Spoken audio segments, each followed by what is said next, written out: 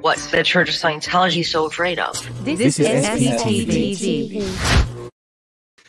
Today, we have an amazing treat, an absolute incredible story of someone who grew up in poverty and adversity of growing up as a child slave in a cult and went from that to graduating from the London School of Economics and publishing multiple books with some of the world's leading physicians and psychiatrists.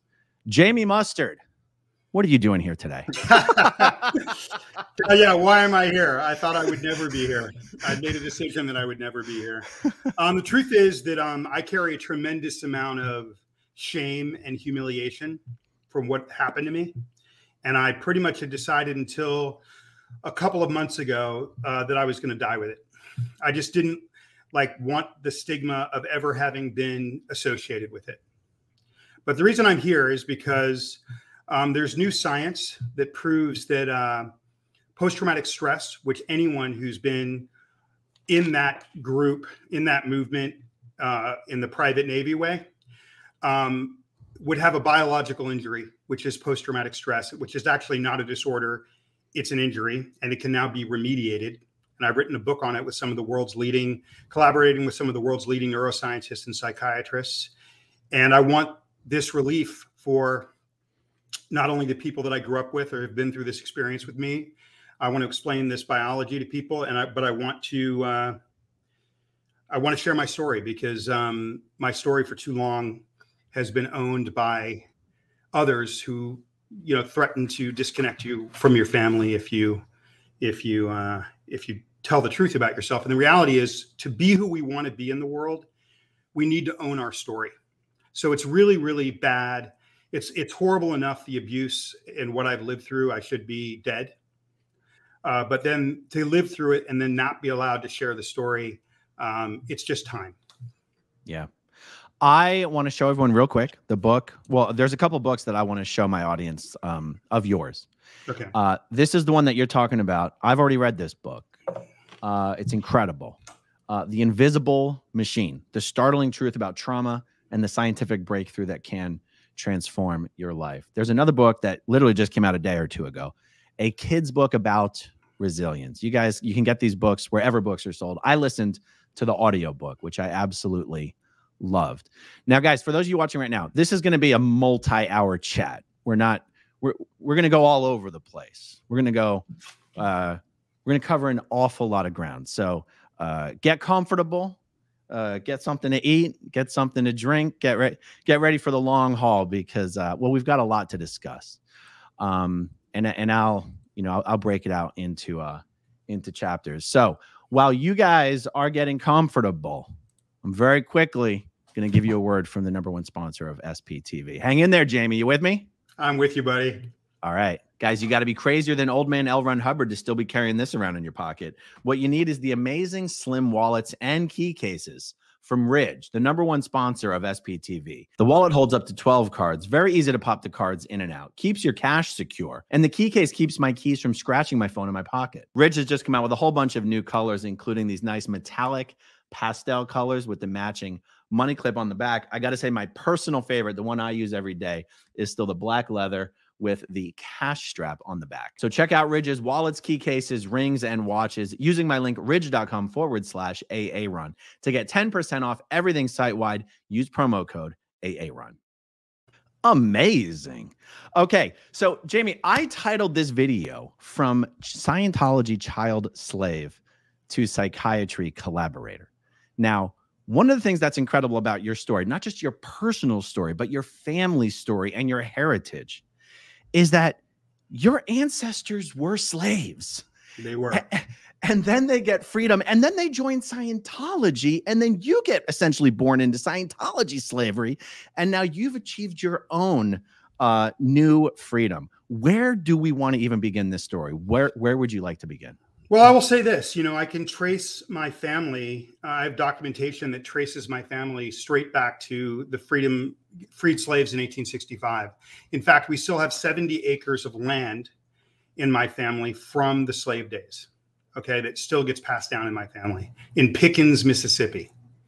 My grandmother grew up in the same town, Henning, Tennessee, as Alex Haley. He was a classmate of my um, aunt Lucy. I met him once.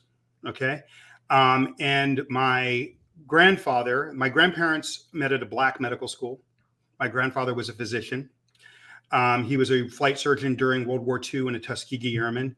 What's relevant about all this is by the time my grandfather, 75 years out of slavery in 1940s, 1940-ish, uh, he was he inherited money. He was a millionaire when he went to Meharry Medical School. So you have 75 years, a, family comes from nothing to rise to incredible prosperity. They come from slavery to rise to magnificent prosperity. And then the 60s and 70s happens. There's all these dark groups, and I get born, and this is probably the most important part. I, I was born in West Los Angeles at UCLA Medical Center in the early 1970s, uh, and I was taken at birth to the Asho Day House in downtown Los Angeles, behind Tom, the original Tommy's Burgers, directly across from the Rampart Police Station, where I was in a baby factory for the first two years of my life. There are zero baby pictures of me. There might be one Polaroid from a trip to visit my grandmother. Okay. So, you know, for those that might doubt my story or people that think what I have to say sounds, you know, outrageous, I, I, I offer the challenge of anyone to produce a baby picture of me. There wasn't one because for the two first two years of my life, I was in a baby factory in downtown LA with very with little to no human touch, diapers not getting changed, um, eyes crusted, um, nose not being. It was. I can't even imagine um, why and how I'm still here. And then after that, where I went from there, it just it's a gauntlet of uh, cuts and pain. There is there are so many different routes we could take in this so, conversation. So the, the, main thing that I want to say is my family had achieved something incredible, and then my grandfather's a physician, and I am born into mental and physical slavery. I probably signed that billion-year contract uh, for the first time when I was five to seven years, probably five years old, five to seven years old. Okay, wow. yeah. So I mean, if if get, getting a child to sign a billion-year contract and have, and then I worked. I I was not in school my entire life, except for a few kind of PR incidents that lasted a few months here or there. We moved to Eugene for a couple years. I got straight Fs and never attended class. So I was semi literate until the age of 19. I could read at a high level because I studied Lafayette stuff. Okay. Uh, but uh, in terms of uh, at 19 years old, I had a five, maybe a kindergarten or below writing level and mathematics level. I remember going after I escaped, and it was an escape. Um, I ended up at my grandmother's house. And I just remember a 45 to an hour conversation at 19 where she was trying to get me, teach me how to use a comma. And I couldn't understand it. And two and a half to three years later, two and a half years later, I was on my way to London School of Economics, which is one of the best schools in the world. So it's a crazy story of resilience. Wow. Who are your parents? Uh, my mother is Rosalind Reese LeBou Mustard. She's uh, still in. We haven't talked in probably 20 years. When I tried to handle what had happened to me as a child with people that represent that group, the, the private Navy, um, they uh, were like, well, your mom made those decisions. So you should talk to her. Okay. And I talked to her and uh, we did you know a uh, chaplain cycle or whatever. I can't even believe I just used that word. We did what you, you, know. I mean, I tried the you know the language is loaded, but the the essence was she said that she had remorse and she was sorry. But the reality is like I don't. I never knew my mother. I grew up in dorms until I in except for a couple of years in Eugene. I grew up in dorms and then eventually was on my own from the age of 16. Okay. So I literally, when I say I grew up in dorms in an institutional environment, I'm being very literal about that. And it was a horror show. You know, the, the where I moved after the Asho Day House in downtown LA was a building on Melrose, a slum that you cannot even imagine, where kids had were in bunks uh, stacked three high, and you know I was you know three years old and falling off the third bunk constantly, right? Mm. And then just the caretakers that didn't give it that didn't really care about us, and then I could tell you about some you know you don't have parents you're not getting any sort of emotional needs met there's the, the, the you have this Lord of the Flies thing. I mean, I, I hate even to call it the cadet org. I would call it the kid navy. Uh, you know, because it never really existed. It's it's an apparition. It's a fucking fantasy. Okay. Yeah. And yeah, yeah. and uh, but some of there there was a guy that ran that place. I don't know if you want me to name names, but uh, oh yeah, no, please do, please do. I think I think people appreciate, um, especially the under the radars and a lot of the old timers. Like I think it helps give context and perspective to know Okay, who I mean- knew who knew who. so there was a guy who was older. He was probably 18 at the time. I mean, if I got the ages wrong, the guy named Bob Rafe, he was the CEO. I hate to use the terms uh, or whatever of that that of the Lord of the Flies inside that building, and it was just you know my childhood was always you know concrete, um, baking in the sun playgrounds with no cover and no parents, and uh, you know physical abuse. And I can tell you some of the physical abuses you know that I experienced there. One really stands out. You know, just that that, that haunts me to this day. I mean, I was, but back then they used to do this thing called public spankings, and they would order the parents to strip the kid in front of the and all the other kids, and naked, and spank them in front of all the other kids hard. And it was such an out of body experience for us, the humiliation of it, to be on the other side of it. Okay, that we laughed. I mean, it's we just couldn't even connect to what was happening in front of us. And at one point, my brother and I did something where we got ordered by Rafe to that. And I can say it is the single and only time my mother ever ever stood up for me. The only Hmm. time. Hmm. So um uh and so that didn't happen to me. But I remember the names of kids that it happened to. I'm not gonna name I don't I don't feel comfortable naming them That's okay. Okay. That's okay. yeah but um you know it was a creepy time you know you never had parents the the the mental weight of having these people take care of you that didn't like you and that just not having anyone around um and just the way what kids will do to each other and the poverty we're talking about roaches you know at one point after that building there was two years i slept on a floor in the fountain building and every night i would pull a shirt over my mouth so that roaches wouldn't crawl in my mouth I think one of the things that people have a hard time understanding is the poverty and also the location of some of these places. You know, I I say sometimes that I was born in the belly of two beasts.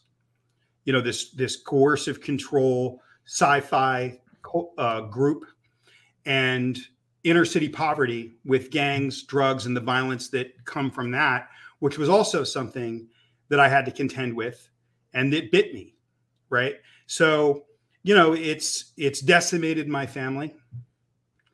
And um again i thought i would die with this. For you know before you and i started talking my in my mind you know i'm an artist. They took my childhood. I thought if i ever talk about this and are engaged in the conversation we're having now then they get my adulthood. And i'm a i'm a pretty good artist. I don't want i never wanted aaron people to look at my art through that lens of that weird creepy thing. Yeah. so i was ready to die with it. And and you know the defilements of my body um i mean it was incredible. You know i mean at one point you know no one would even look at my body unless we made occasional trips every couple of years to new york. So there was one time where i was went to new york.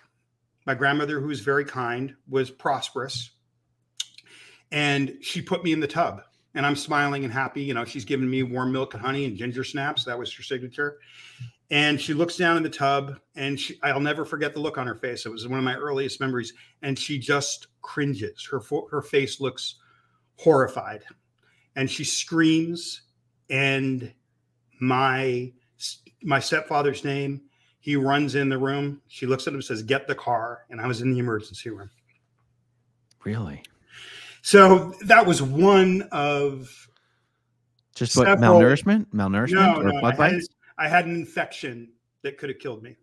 Oh. Okay. And then after that, just a couple of years later, um, I mean, do you want to go into the grim stuff? Do you want to hear this? I, I, it's up to you. We don't have to. I mean, well, this is like one of the things that I feel like people don't understand is the level of poverty in the early days. You know, Mm. everybody's experience is different. You might grow up at St. Hill. You might grow up in Australia. You might grow up grow up and you might grow up in the 70s. You might grow up in the 80s. You might grow up in the 90s. You might grow up at a ranch, not grow up at a ranch. You might have parents that are public that are so obsessed with going OT and giving all their money to the group that they never even look at you. Right. So every experience is different, but it's always abusive. Okay. That's the one thing that it has in common. Right.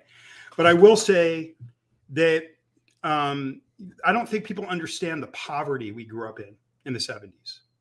Uh, the roaches, the, the, you know, the, the, the, the, we had rugs in these places that were so dirty, they were a different color. The walls were stained with, with bad plumbing. The rooms had the stench of steel.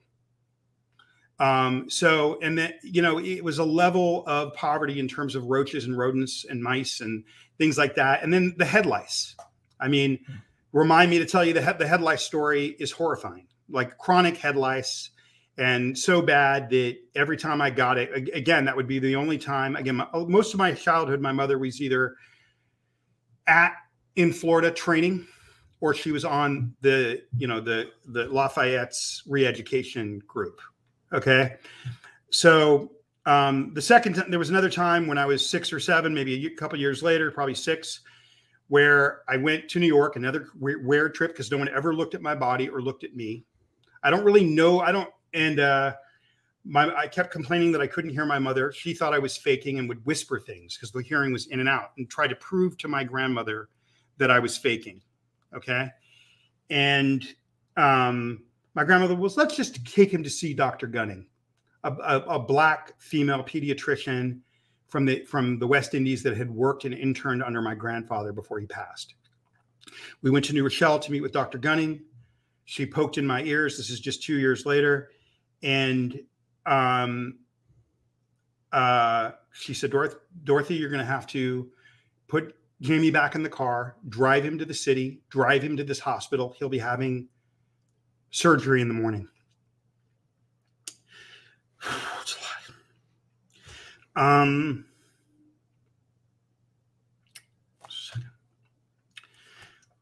as a six year old boy to hear doctors say that you may never hear again properly. That was rough. I had to wear, I had my adenoids taken out. I had a severe infection in my head. I had my tonsils removed. And then I had to wear silly putty in my ears for the next eight years while the tubes grew back because I, um, because I could get no water in my ears. I wasn't allowed to go in swimming pools or the ocean or take showers. Wow.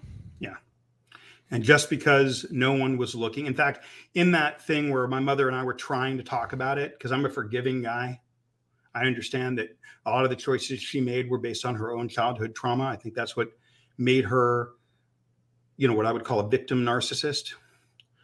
Um, I have compassion and I'm a forgiving guy, and I wanted to forgive her. I wanted a family. I wanted belonging. Right. Um, and one of the things she said is, I mean, I'll never forget this moment. And I gave her a two year clock. I said, You have a two year clock to show some sort of care and remorse because I don't know you. Hmm. Give me a reason to know you. And let's start off with feeling bad about the suffering of children and the abandonment of children. Hmm. Okay. And uh, I gave her 24 months and it wound down. But in one of those conversations, she said to me, um, How would I know what happened to you? I wasn't there with no irony and my yeah, and my father absent, never around. I mean, we don't. That's even we don't even need to get into that. You know, never knew him, barely knew him. You know, you know, knew him better than Daniel, probably, which is not at all. yeah. You you know you and I have never met in person. We've only been speaking for a short amount of time, but I knew your mom in the Sea Org, mm-hmm.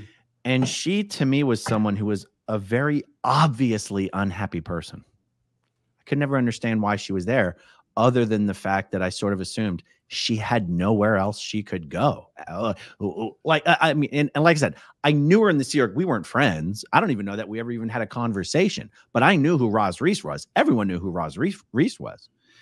Um, I think a lot of my viewers who are former members will know one of your brothers, Jono Reese. Yeah, and, I wasn't gonna. I wasn't gonna. You know, I'm careful about naming people, but I'll. But you know, if you do that, that's up to you. I mean, I'll respond, but I, you know, I, I mean, I'm not mentioning him because he's a bad yeah. guy. He was. He was a well known, a well known and well respected Sea Org member, and whatever sort of whatever that means. I, within the Sea Org, he was yeah, someone no, who was well known and well respected. I get it. I just don't. I don't even think that that that the Sea Org is a real thing. I, I think it's. I totally get it. I mean, it's not incorporated. It's an amorphous. uh abusive petri, you know, uh, uh, pressure chamber of you know uh, just feces and vomit. You know, we can get into the specifics on that if you want, but but um, but I hear you. He was he is a very good guy. When I oh, I don't know that he is a good guy. No, you know, he is a good guy. He is a good okay. guy. You know, we all have done bad things. He was born into it. I can't blame him for any decision he makes. He doesn't talk to me. I believe he's still involved. I don't know. Um, but uh, you know, the only reason I moved back in with my mom when I was seven and a half or eight was because she came back from training and she needed a full time caregiver for him. And I was told that it was not only my job to get him to the daycare, which was at where the Rose Garden Pavilion is now. It was called the Annex. There was a big structure there. And I had to get there by foot and then get him back in the evening. Somehow she got him there in the morning. So I was his full time caregiver as an infant. Um, that, you know, and so what I know what he's been through, you know, and, and, you know, he slept with his girlfriend when he was in at 16. He's a really smart, beautiful man. And for his trouble of just following his hormones, because they don't talk to you about that when you're in there. So you're just experiencing it and told you can't, and you have to repress. There's no conversation. He slept with his girlfriend, and as a result, spent from 16 to 23, seven years on their re education camp. And I didn't, you know, so, you know, I mean, you know, we're just touching the tip of the iceberg here, you know, and um, how this, you know, contributed to my work now. You know, I never thought that I would work in the trauma space. I really consider myself more of a pure artist and an art director. But uh, you know, I got the I got this kind of proximity to some of the world's uh, leading neuroscientists and trauma scientists, and I saw some things that they maybe maybe weren't putting together.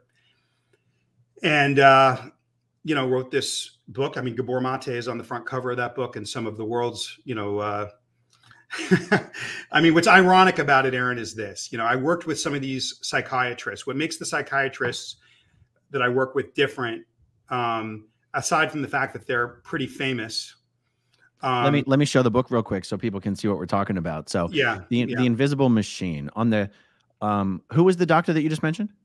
Well, the doctor that I just mentioned, well, the guy that I wrote it with is Dr. Eugene Lipov, and he invented uh, a, a, little under over a little under 20 years ago a way to reset the nervous system, and no one knows about it.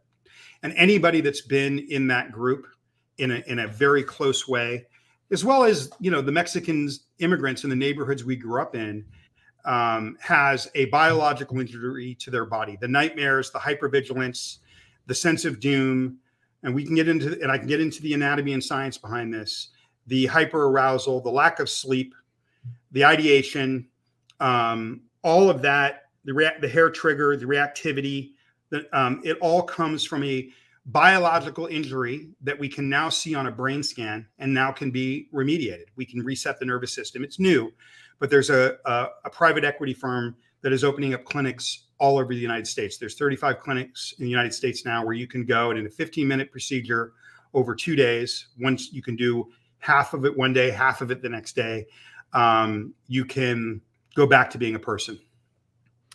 I, I want to say that as I was reading The Invisible Machine, or should I say listening to it, because I love audiobooks, I was struck, and you and I spoke about this because I was like, is it just me? Am I imagining something?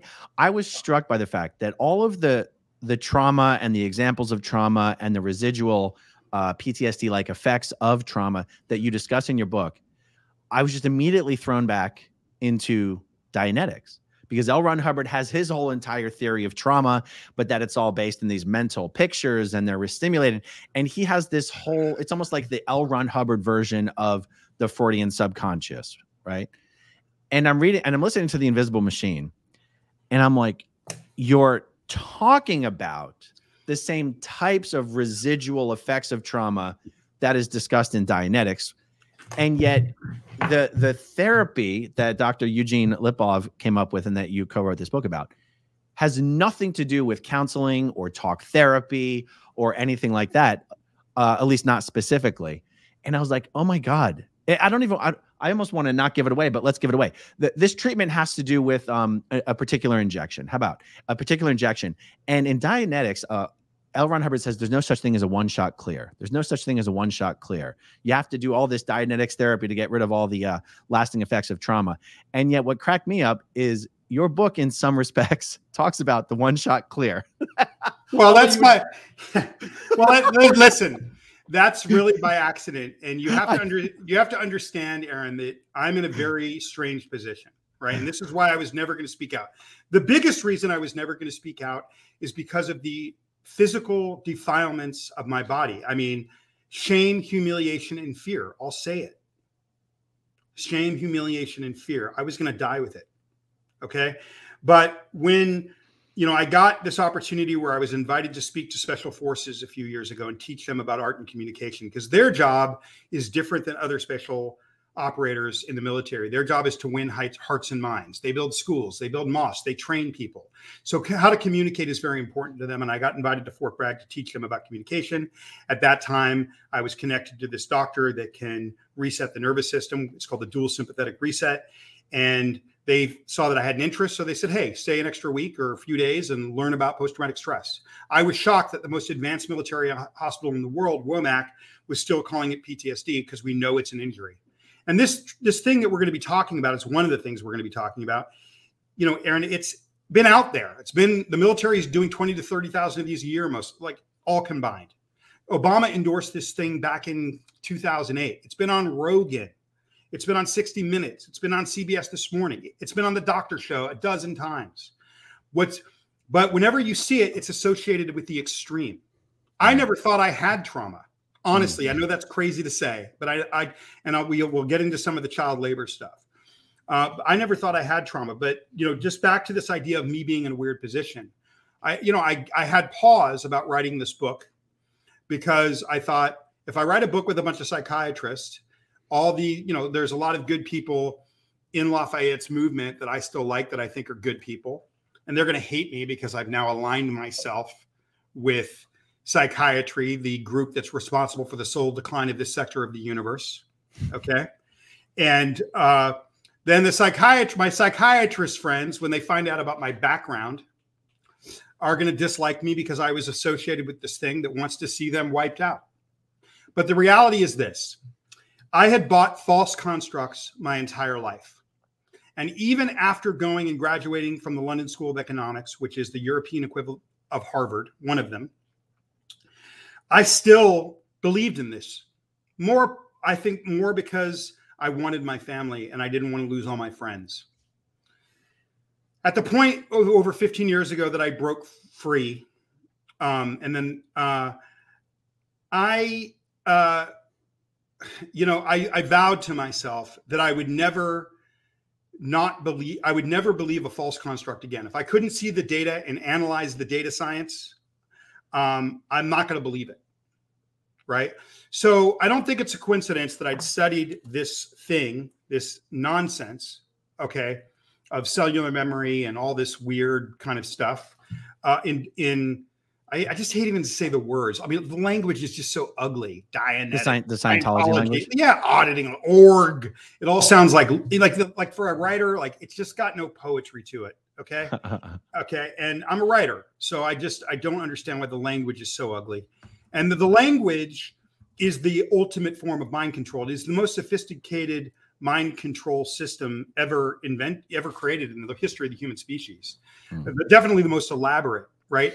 And the language is the is the key to that control. Okay, mm. so I'm careful with the language, but I will say this. So I, am in this weird position. I do think that when I, I was doing a post traumatic stress meeting at Fort Bragg and one of the guys there that runs the Health Initiative Task Force for Special Forces um, showed after we after this long talk where I'm listening to horror stories, and all these guys coming back are being told they have a disorder. And by now, I've seen enough data that I know it's a physical injury, hmm. and I know it can be remediated. The military's delivering this; they're delivering this at Womack. Okay, but even at Womack, the, the most advanced military hospital in the world, they were doing it off of a 10 year old paper. So we fixed that on that trip. The doc came with me. He did grand rounds. We, and so now Womack started doing it correctly. And Womack started sending people to his outfit in Chicago based on our work together that led to this book. But the, the, what I'll say is this, just to answer your one shot thing. After that meeting, this guy who runs the Health Initiative Task Force, he says to me, Jamie, do you know, have you ever heard of operator syndrome? And I said, uh, no, what the hell's that? And he says it's it's something that guys come back from Afghanistan with that um, even if they're never in a firefight, okay, um, they are they have a series of symptoms that cascade into a series of mental or excuse me physical ailments, autoimmune disease and orthopedic problems, even other forms of disease. Okay, but it starts off with these kind of mental ailments. There's seven or eight, you know, eight or nine of them, and um, I'm reading this list and this is if you're never involved in a firefight. So you can get this biological injury, which we will get into the science of two ways. One, you could the highest cohort of people that get this are veterans and sexual assault victims. So one way you can get it is just seeing your buddy's head got, get off blown in front of you. If you have an overwhelming biological event, and again, I can explain the anatomy and the science, it will change your biology. Or the other way we get it, and this is the way that no one talks about this is operator syndrome is prolonged allostatic load. You're in Afghanistan. You don't ever get to a firefight, but there's an IED every day around the corner. And you're hearing about your friends dying. And you're away from your family and you don't know if you're ever going to go get back. That kind of stress where you think every day you could die, even if you're never in a firefight.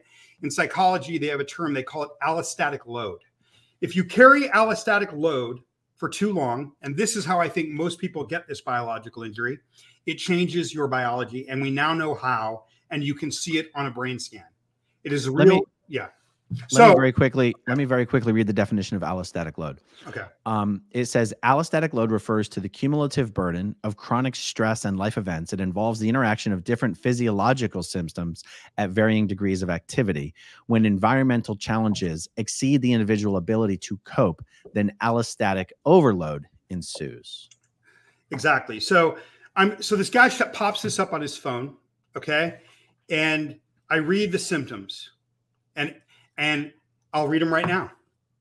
Anxiety, hair trigger, um, reactivity, hypervigilance, hyperarousal, mild paranoia, lack of sleep, nightmares, sense of doom, all of these things are things that you would experience if you were if a tiger leaped out at you which we're about we're, we're meant to experience for about 30 to 90 seconds.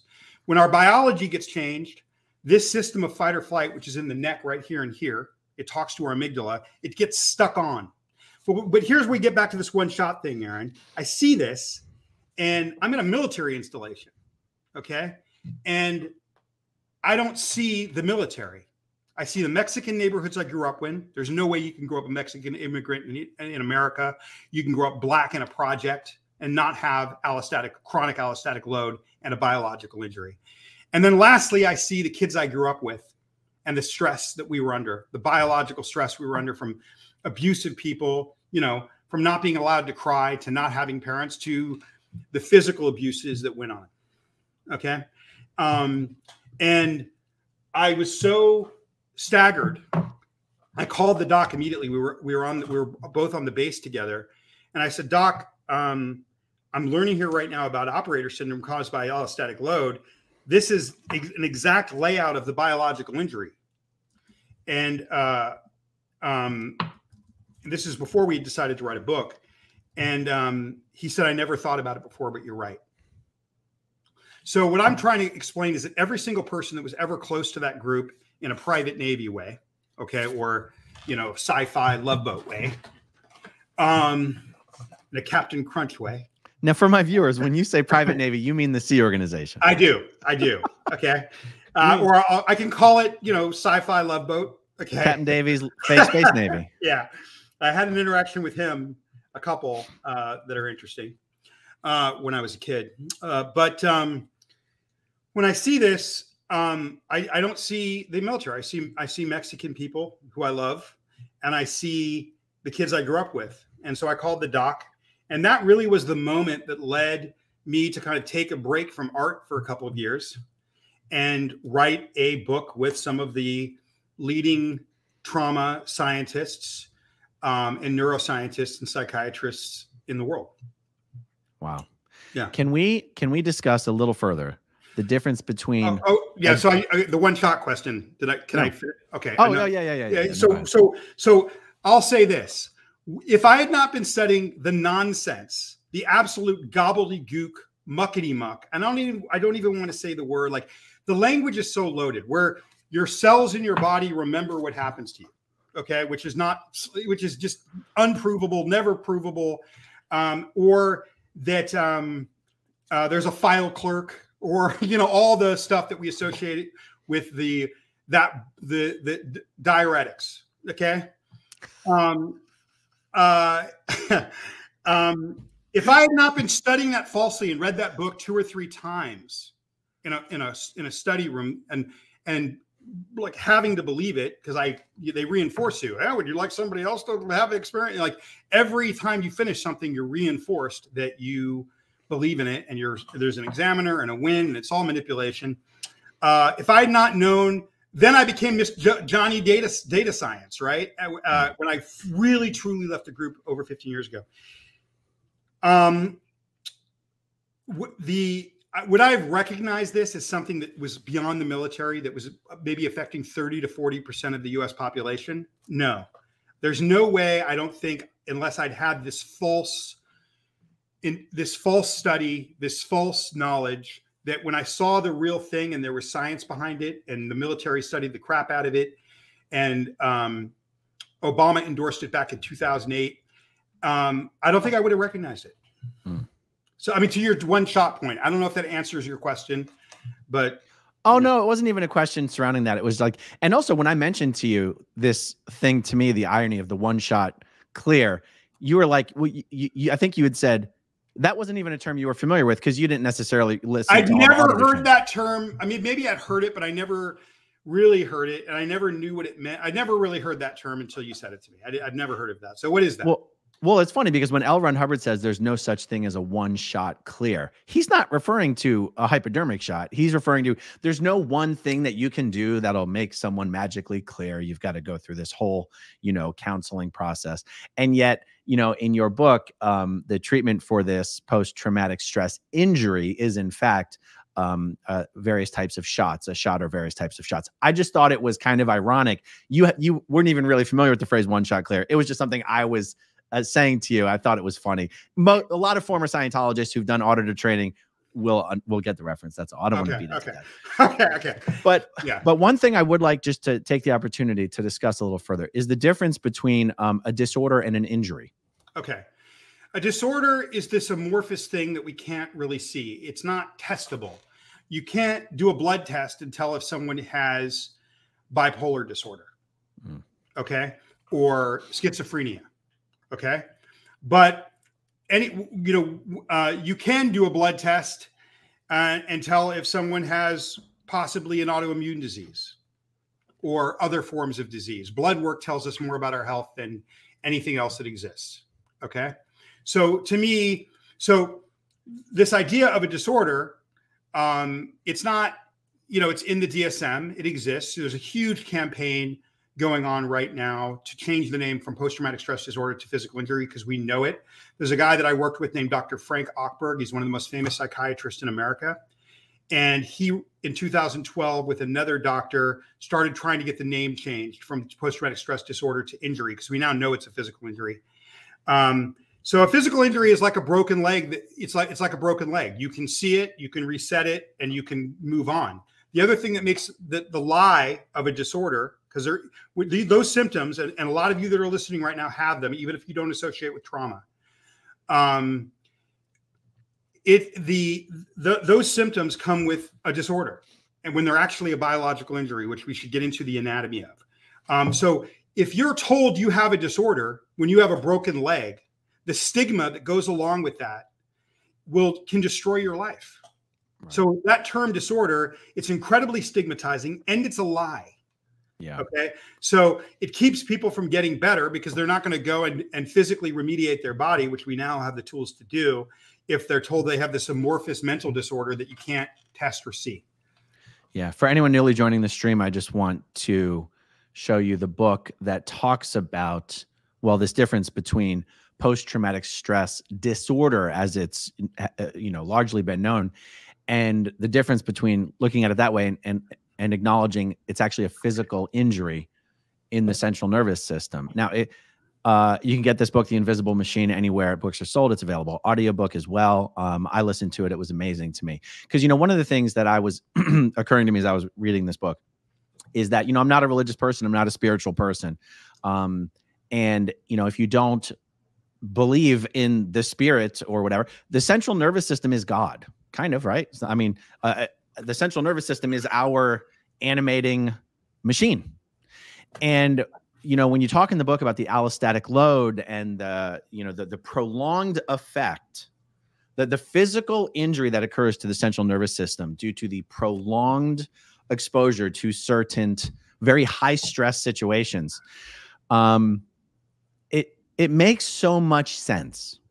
And also, you know, you mentioned before, um, a lot of people don't consider themselves to have trauma. You know, e- even in the cult space, in the former cult space, uh, even in the sexual survivor space. Almost everybody suffers from what I'm going to uh, carelessly call imposter syndrome.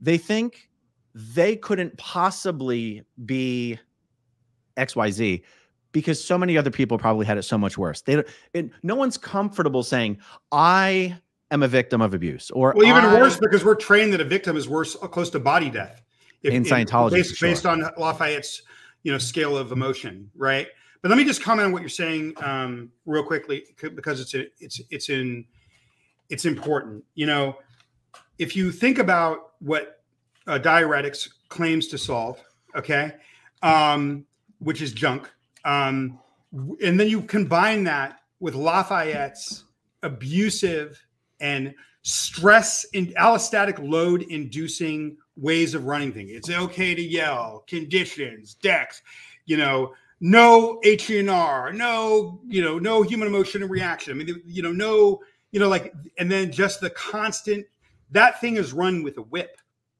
You know that you were in it. It is run by the whip. It may, it's a different whip than the, than my, my great great grandparents, but it's a very, it's a similar whip. Everything is done under threat on the plantation. Everything is done under threat on these, on Lafayette's bases. Okay. Everyone knows that. Okay. Even the people that disagree, you know, that are listening to this that, that are trying to not believe it. Okay. Those activities. So you have this guy, and he says, Hey, I can solve this eight symptoms that I just named, uh, are pretty much the same, are most of the symptoms and the physical ailments that come from those symptoms are most of the symptoms that Dianetics claims to cure. Okay. Um, if you, uh, um, while he has a system of the people that are administrating this that causes the biological injury. It's dark. It's dark. So let's get into the biological injury for anybody that might be cynical. And before the end of this call, I will walk you through what's happening to you anatomically so that you're feeling these things and that it is not and that it is 100% biological. You can see it on a brain scan and now it's remediatable. Okay. Um, but you know, I'll go back to this. This guy, Dr. Frank Ochberg, who's all through this book, he writes the forward to the book. He's one of the most famous psychiatrists in America. He was the guy that defined Stockholm syndrome for the FBI in the 1970s. Okay. So we're not just talking about a regular psychiatrist here. We're talking, I mean, when I told him a little bit about my childhood, I didn't tell him all of it. Uh, he, told, he told me that I was raised by wolves. Okay. But, you know, I, and that was the other thing. I'm friends with these guys. These guys are outliers for psychiatrists. Some of the most famous psychiatrists in the world, guys like Frank Ochberg, guys like Daniel Amen, guys like Stephen Porges, these guys have taken the biological approach, which has actually alienated them from the MP, APA. But in, in the oh, last 10 years, the data science has come in, and all these guys that are approaching what we call, I'll call mental wellness or mental issues, as brain health and nervous system issues. The data science is proving these guys right. Daniel Amen's been scanning people's brains for 20 years, or no, 30 years. He's got almost 200,000 brain scans. The SPECT scan is not an ideal scan. It only measures this. You can only see the surface and blood flow, but the data set is and the corollaries are undeniable. Okay. And he was an incredible partner for me in the creation of this book. I couldn't have done it without him. Uh, so I was forced to start meeting these guys after having been programmed my whole life that, that they're the epitome of all evil. And I could just tell you the guys that I worked with have been the most compassionate, caring people I've ever met in my life that truly want to see people do better and make people better.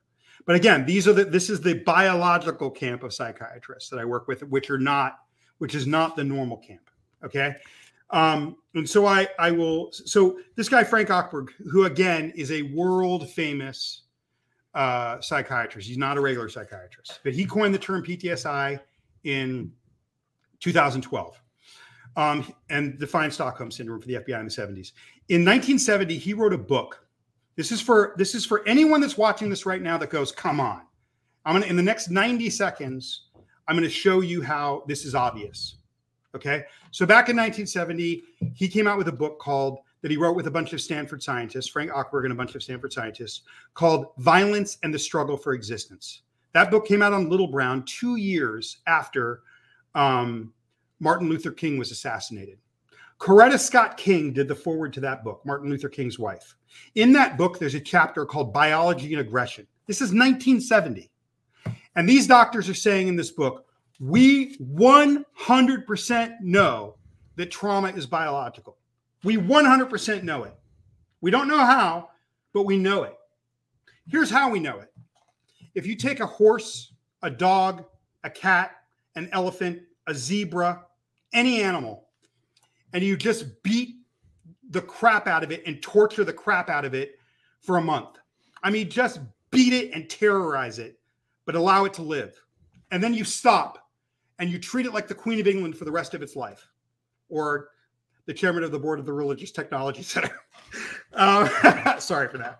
Had to do it. Uh, um, you treat it like a prince or a princess or a king for the rest of its life that animal will never be the same. It will be it will be one of two ways, and it will never change. It will be incredibly aggressive, fight, or it will be incredibly meek, flight. We didn't just give that horse a disorder.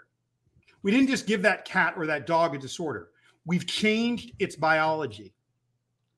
And until the mid to late, you know, but like, you know, 2000, somewhere between 2006 and 2010 when Dr.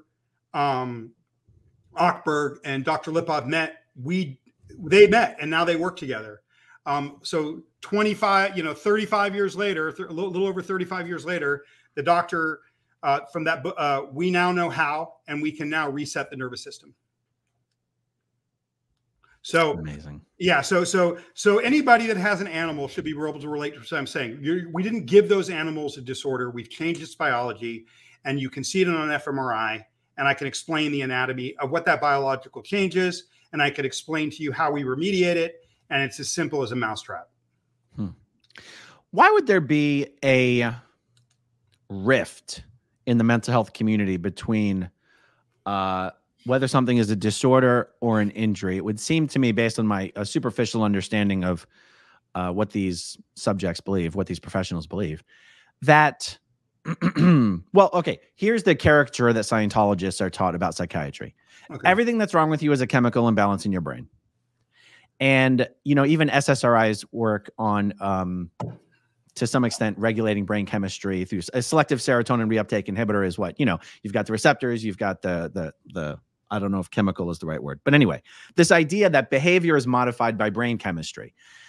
To me, just casually speaking, that doesn't seem that different from think that uh, uh, from the idea that a prolonged psychological stress would create a physical injury in the nervous system. Why are these things? Okay, I'm going to give you. Okay, I'm going to give you my. It's a great question. Great question, Aaron. I'm going to give you my opinion. Okay, when you're looking at a per, uh, a person that's suffering from a lot of you know the disorders that um, I just named, and uh, and I'm going to explain to you why those symptoms, because it has to do with Peter Levine's work back in the 80s, which is like what you'd experience if you were running from a tiger.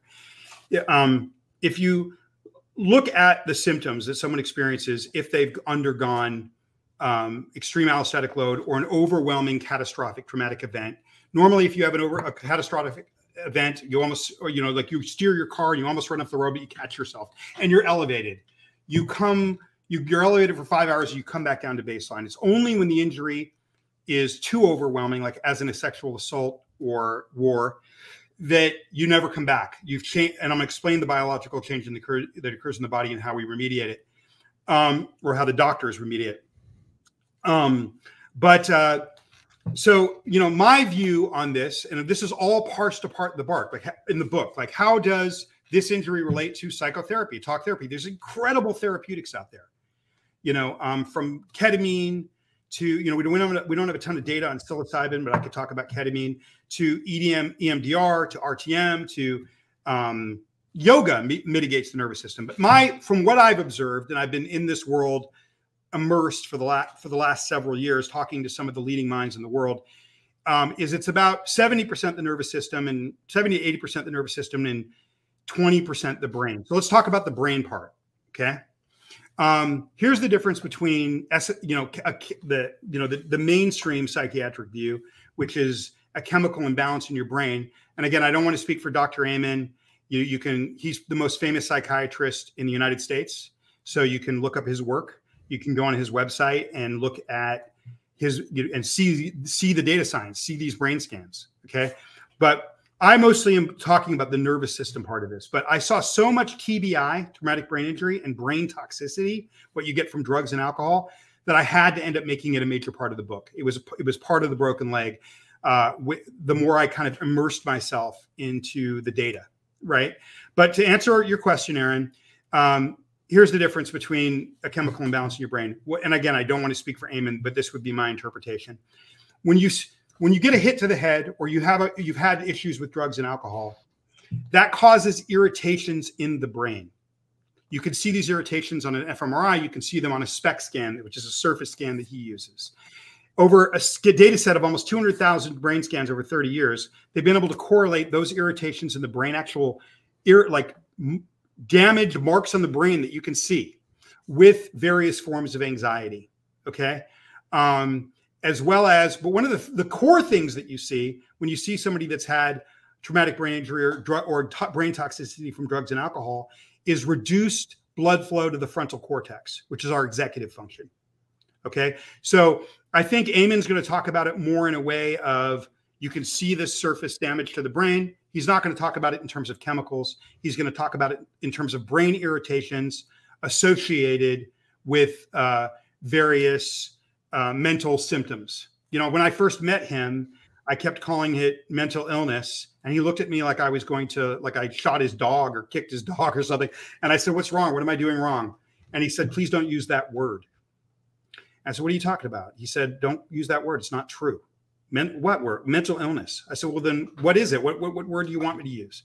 And he said, Brain health issues. So, Aaron, do you see the difference between decreased blood flow in certain parts of the brain, irritations that you can see on the part of the brain being associated with certain things that are symptomatic, and chemicals which are, are, are the science on those chemicals is speculative.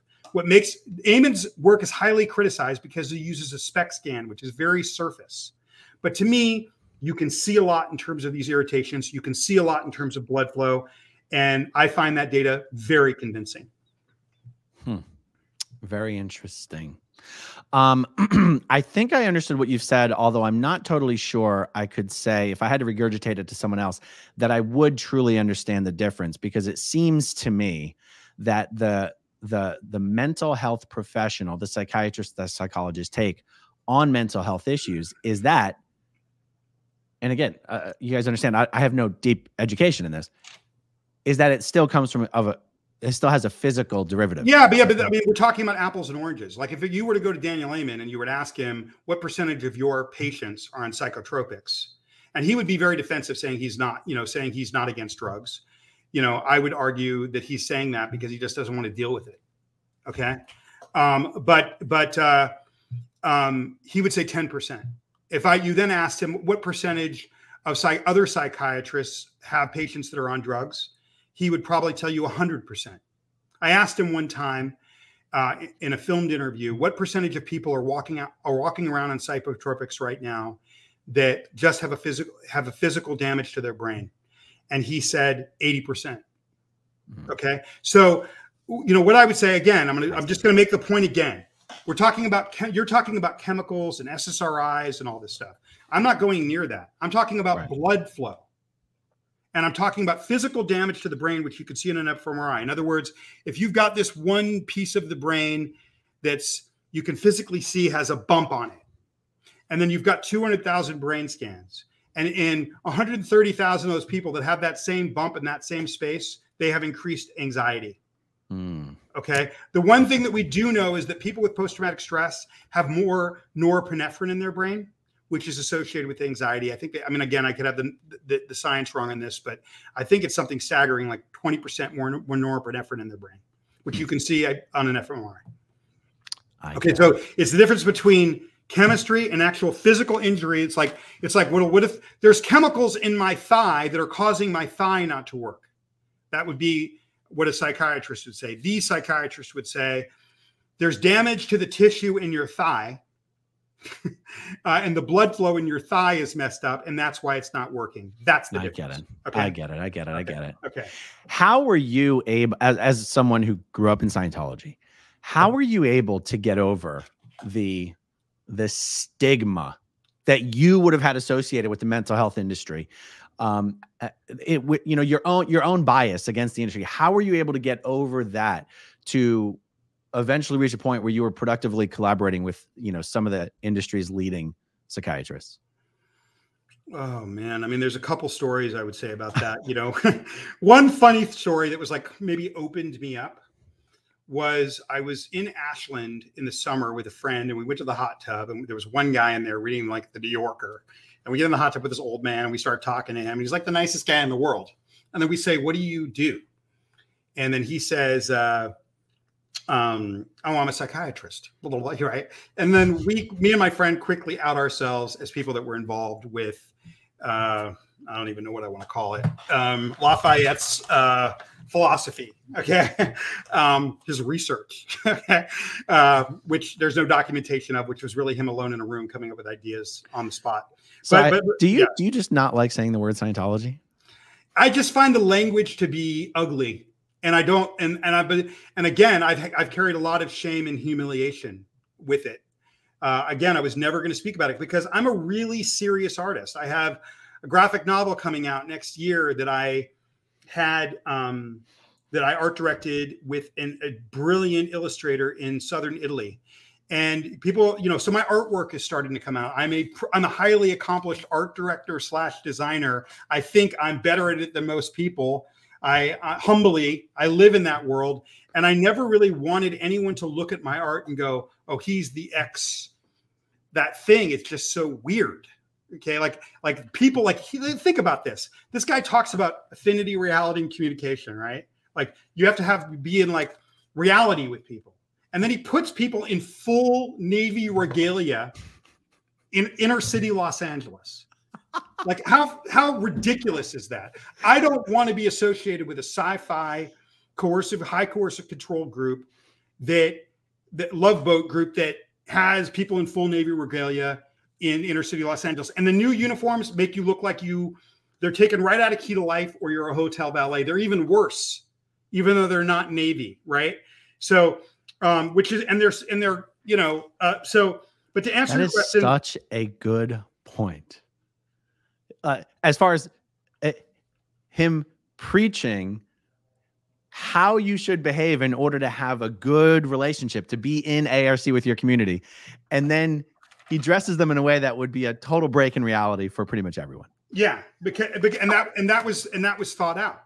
Like any other uh, his his philosophy scientology has more in common with fascist communism than any other. It's a more elaborate form of fascist communism. If you look at the dot it's very similar you know sacrifice the individual for the for the good of the state is identical to the uh, greatest good for the greatest number of dynamics you have this highfalutin philosophy that means everyone is equal and everyone can be benefited but the people at the top inure themselves and then they don't apply the rules to themselves. I think um, Lafayette believed what he wrote, but I also thought because he wrote it, he thought he could break his own rules and did. And there's plenty of evidence to show that he did. Okay. Um, he did not adhere to his own rules. And um, the, the minute he decided to make it an authoritarian group, when he came up with the, the, the private, you know, the private navy um, is let's call you know, it the space navy. Let's call it the, space, space navy. The, space navy. Uh, it was, but it was doomed before that because if you really break down what I call I won't call it auditing. I don't like the words. I'll call it machine-based counseling. Hmm. It's just it's just a way to induce dopamine. And when you're somebody that's a trained person, that's a machine-based counselor, and you're inducing someone to dopamine using these processes, you're going to be in forever because you're seeing people get really happy. You're seeing them keep well, it works right? But it doesn't work. You the next day you go back to being the same. You haven't caused any permanent change in the person. There's no such thing as charge. It never comes off a thing called a case. It's all fantasy. But but um but to answer your question, I'm in Ashland. We're in the hot tub with this dude, and I mentioned to this guy that we're ex affiliation. We have an affiliation with this, and he kind of smiles and goes, "I don't know much about it."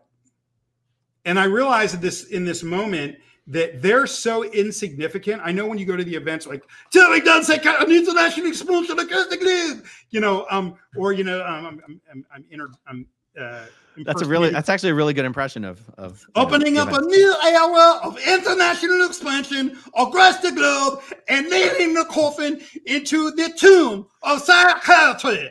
Okay, um, uh, when you really look at that, okay, um, they don't really much think about uh, that's all propaganda. When I don't think so, that psychiatry even notices them. They're like, I don't want to make another comparison uh, to the little guy, okay? But they're like a little Dave, you know, maybe kicking somebody in the shins. Okay, you know, they're like a little gnome kicking kicking a giant. He doesn't notice them.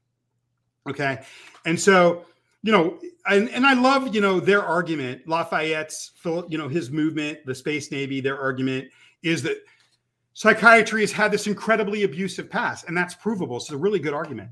Okay. But uh, Lafayette doesn't. I could, what I could tell you what happened to me. Okay. I didn't go to school my entire life, never knew my parents, and was physically abused and spent the first two years of my life entombed in my own mind, sitting in the waste and and and and foul stink of my own dirty diapers for hours on end. Okay. So uh, with no human touch. And I don't think that I should even be alive, let alone able to speak to you right now. Okay. When you look at the gauntlet that continued from there. So this argument that they have a history of abuses to me you know, I was in the FBI raid, woken up from bed as a child, kept up all night as FBI agents flooded it. They broke, woke us from our bed at midnight. It was a 21 hour raid, and they moved us around the main building all night um, of the Cedar Sinai Hospital um, as FBI agents kept flooding into the room. And all I can remember thinking as a as a young boy was, um, why are they so concerned about these men with suits that seem fine? You know, like they didn't care about us yesterday, but all of a sudden we have to stay all night because there's men walking around in suits. It was very confusing. Okay. Wow. Yeah. So that was what, what my child mind, you know, was thinking at the time. Okay.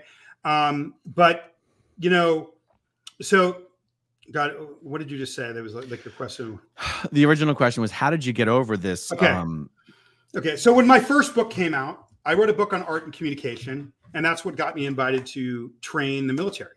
Okay, um, that's called the Iconist, um, which I believe I also sent you to, or you read it. You I read that one too. Okay. Yeah.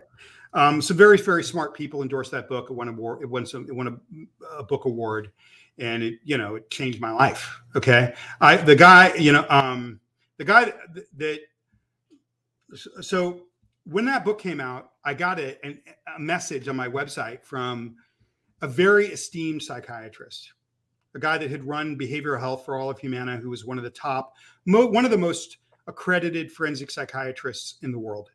And he basically just sent me a nice note saying, Hey, I'm a huge fan. I'd love to talk. I want to pay you to come to LA and talk to inner city kids. And then we got on the phone and I just fell in love with this dude. His compassion, where he came from. I consider him a close friend. And um, that really is what opened me up was my relationship with this man. Hmm. you know um, and his, his, compassion and him and he's a data scientist. So he just would only talk to me about data. And i and i guess i can say his name you know? Sure if you want. Um, he doesn't know i'm doing this uh, but he, he, is one of the most beautiful men that i've ever met in my life his name is uh, Dr. John J. Faber, and he is an incredible human being. And yeah. so it was my relationship with him So then when I found out that there was a biological cure to way a way to reset the nervous system, I I grew up my whole life. This is like right at the beginning of COVID. I grew up my whole life not going to the doctor, Mm. right? So this idea that I would go do this thing that people don't know about in Chicago, it was like vanilla sky. Okay. I, it's just not something that somebody like me would ever do because I just don't go to, you know, you don't go to the doctor. And so I knew he had reached, I was friends with him and he vetted it for me. And that's what kind of led for me, led me to making the decision to go getting my nervous system reset. Wow. Yeah. So, do you want to talk about the treatment itself? Um, yeah. So again, but again, but also to answer your question, Aaron, I'm still not over it. You know- you know- there's all there's also a part of me that's like, I don't know, like I when's he gonna pop the mask off and I'm gonna see the alien head. You know what I mean? So You're gonna it- wake up with an ice Yeah. pick in your eye and a fucking. Yeah, exactly. So I'm still not Mhm. over it. That stuff runs deep. You know, like sometimes people were, you know, I don't feel like I'm healed from it. I don't know that I'll ever be healed from it. If someone said to me, How did you get over it? How did you heal from it? I wouldn't talk about it that way. I would say it's like an open wound. Mm, And maybe it will always be an open wound. Okay. yeah. Uh, but yeah, the treatment itself. Let me explain to you what happens when you have a traumatic event or you carry prolonged allostatic load, which is the nature of the Space Navy. Okay. And guys, What's real quick, um, for anyone new to the chat here, this is the book that we're talking about that uh, Jamie co-authored, uh, "The Invisible Machine: The Startling Truth About Trauma and the Scientific Breakthrough That Can Transform Your Life." So go Yeah, ahead. and then we've got um, and some of the most uh, famous neuroscientists and trauma doctors in the world are on the back of that book, either collaborating with it or endorsing it. Okay, the book was published by one of the top science and health publishers in the world, uh, BenBella Books, who published the China Study, which is one of the most successful science and health books of all time, and it's distributed by Penguin Random House. Okay, I wrote the book with the person that invented the dual sympathetic reset uh, which resets the nervous system in just a couple in, a few minutes over two days. Okay, but let me before I tell you what the treatment is, let me explain the um, and I hope get, uh, Aaron after this we can get into we could start pulling apart and having a conversation about a lot of this philosophy and the whole movement itself. Okay, Yeah, absolutely. Okay, but um, scientifically, let me or anatomically, let me explain what happens. So, say you have you almost swerve your car, and you your body gets jerked into action. If you were able to actually be able to notice how your body gets jerked into action, it comes from right here and right here. There's a gangle of nerves that runs from your amygdala straight down through your sinuses, through your neck, through your chest, all the way down to your toes. I would say for this conversation, the most important part of this conversation is uh, the part between in your neck and in your chest. Okay. So this doctor in the early 2000s, he is a he's the Einstein of modern anesthesiology, scientist and a researcher who who lived through incredible trauma himself. Uh, probably should have never been an anesthesiologist. He was uh, on his way to being a surgeon. He uh, grew up under the the the um, crush of the Soviet Union, was it? Uh, and um, he's an older man. And then uh, he had to drop out of being a surgeon when he was at Northwestern because his mother um, killed herself under the care of psychiatrists. Hmm. And so he became an anesthesiologist because he couldn't concentrate on being a surgeon, but it also left him room to be a researcher. So he was, there was a shot invented in 1925, okay, for tingling hands, okay. But let me go back to the anatomy. So the so when you almost swerve your car, you almost slip, and then before you could think, you catch yourself. That motion or that causes you to catch yourself before you can think or get your car back, that elevates you, the hypervigilance, hyperarousal, that goes through amygdala and it's coming from right here, the stellate ganglion center of nerves on each side of your neck. Okay. Now, what happens is you go up five hours later, you'll come back down to baseline. Okay.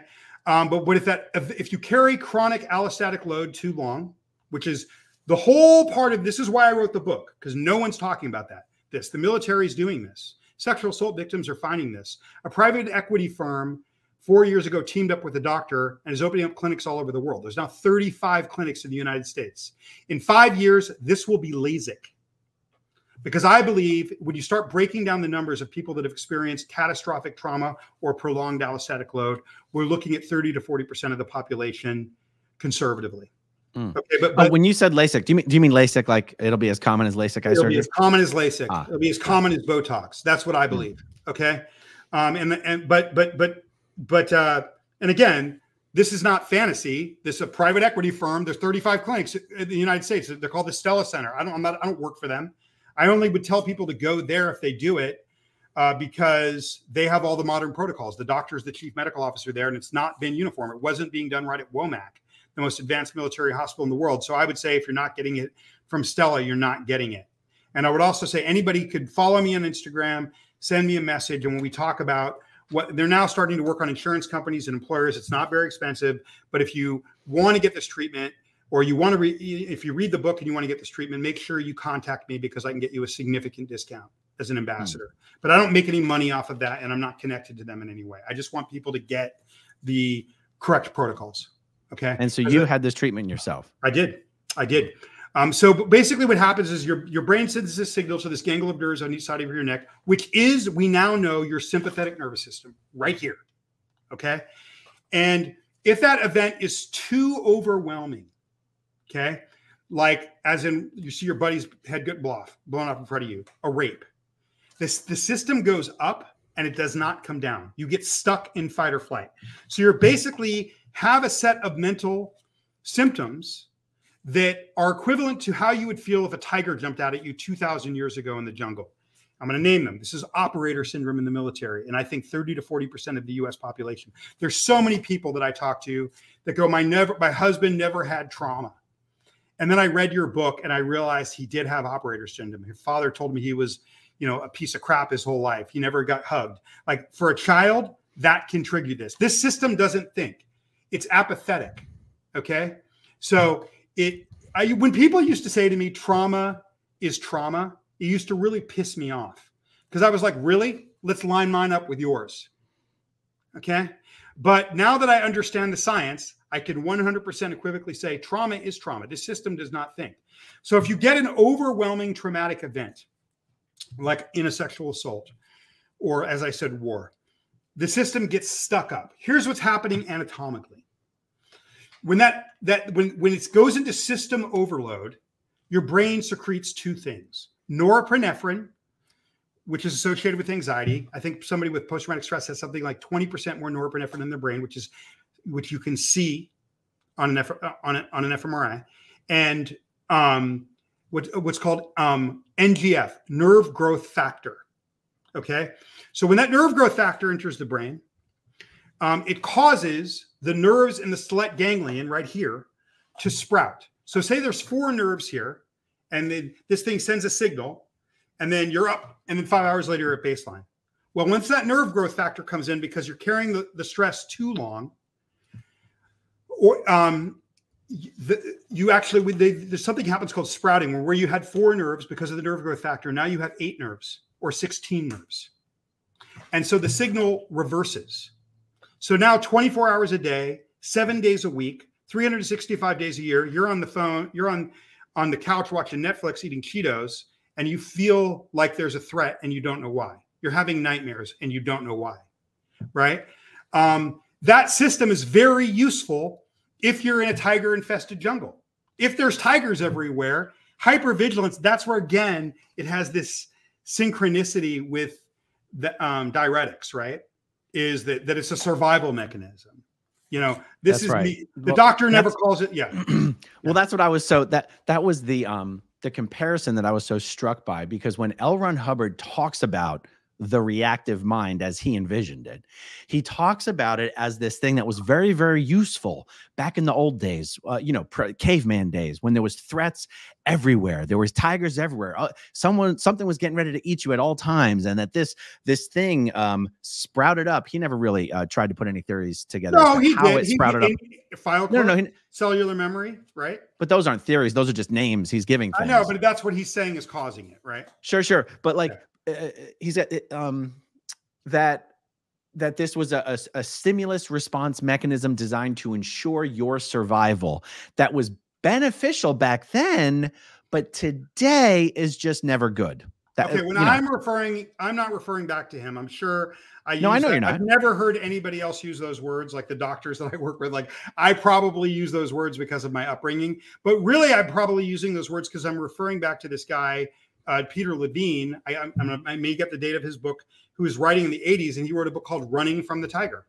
And he, I'm making the opposite point, not okay. that you're taking from him, yeah, but that he back then is describe it was attempting to describe something that has in reality this physical yes he was right about source. that yeah he was right about and that he's given this whole he created know, a whole construct that you can't yeah. see in a brain scan that, that, that, it's a phantom that doesn't exist he created yeah. this whole construct that doesn't exist based right. on something that was actually true so it's not cellular memory i'm not going to even say i don't i hate using the words because it's like there's this idea that there there's a you know your cells remember things and you know it's, it's all very confusing because it also goes to your spirit and past life i don't even want to get into using the words because it's it's weird um like when you when you say like if i were to use a word like the word engram like it doesn't mean anything because it's connected to a, a construct that doesn't really represent anything. So then it just takes us out of the conversation in my opinion. Okay? So i don't want to use but but i'll say this. Peter levine uh, uh, running from the tiger. So he had already just in the 80s, he was kind of describing this mechanism. Um, I mean, he's a PhD, I believe he's a psychiatrist, but he's you know one of the he's the found one of the founding fathers of trauma science, and he was basically saying, you know, you, there's a you know you get injured, and now you are stuck in this mode of running from a tiger. So when you look at the symptoms, say there was a tiger that leaped out at you, how would you feel? I'm going to I'm going to communicate the the symptoms of operator syndrome again you would be anxious if there was a tiger chasing you. You would have a hair trigger and you'd be reactive if a tiger chases you. You would have a sense of doom if a tiger was chasing you. You would have hypervigilance. Where's the tiger? You'd be hyper aroused. Where's the tiger? You would have mild paranoia and a sense of doom. In the military, where people are trained to protect, the ultimate form of flight is suicide. In the neighborhoods where I grew up, in the inner city where the, the Space Navy is, you know, violence is acceptable there. So the ultimate form of fight is homicide. These are all just biological symptoms. And what's interesting is if you read about operator syndrome, which is basically an overactive sympathetic nervous system, um, there is a cascade of physiological problems that come from that. We now know through data science that the leading cause of disease in adults is what's called your ACEs score, adverse childhood experiences. That's been proven. So not, but we didn't, but but the but we don't know. So if you know, Bessel van Kolk wrote this book called "If the Body Keeps the Score." It does, and if the body keeps the score, then the sympathetic nervous system is the scorekeeper. That's what I would say. Okay, so once you've sprouted these nerves, so imagine imagine this scenario: you're a young black kid that grew up in the projects in the Bronx. So the pressure of the gangs and the poverty and what that is you're going to have an overactive sympathetic nervous system 100% of the time. I'm a police officer. I every time I pull someone over, are they going to shoot me? I'm carrying that stress every day. Um, I'm going to have an overactive sympathetic nervous system. They have an innocuous traffic stop. These extra sprouted nerves in their neck is telling, lying to their brain, telling them that this simple, innocuous encounter is life or death. Mm. That's why you see so many of these situations get crazy and out of control is it's a biological mechanism. And it's very important that people know about it because we're a nation of laws. There i want one of the things i did two and a half two two and a half years ago is i went into a large massive jail the size of a prison in the american south and i interviewed murderers because i wanted to see if a guy from the projects who committed an impulse crime when they were 20 had the exact same biological symptoms as somebody coming back from afghanistan a war hero. And they're identical because it's biological Okay. So what all that so let's talk about the treatment.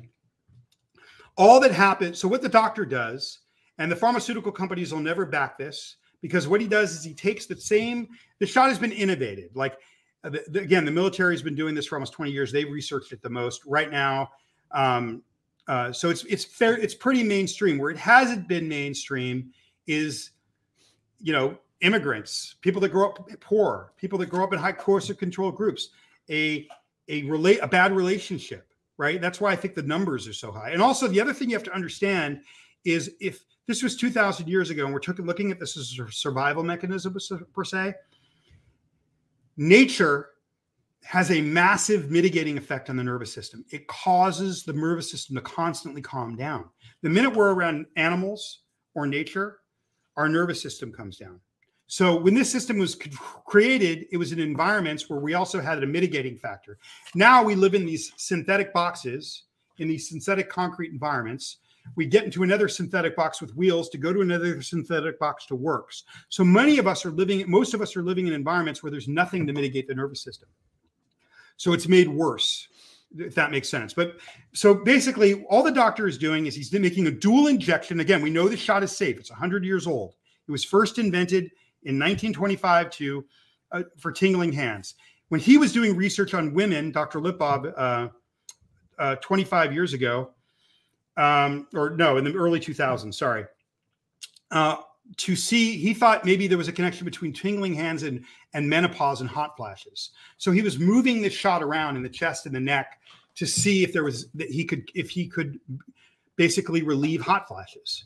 Um, and he was able to do that. And he was, you know, the Chicago Tri- Tribune did a story on him where they mocked him, you know, like, you know, doctor plunging, you know, six inch needles, which they're not, into, you know, hot moms or something. They mocked him. You know, three years later, when the data science came out, he was hailed as a genius, and the, the Norwegian government flew him out to treat to treat all of their top medical professionals. And now hold nobody, on, Jamie, because because yeah. you had me at hot moms.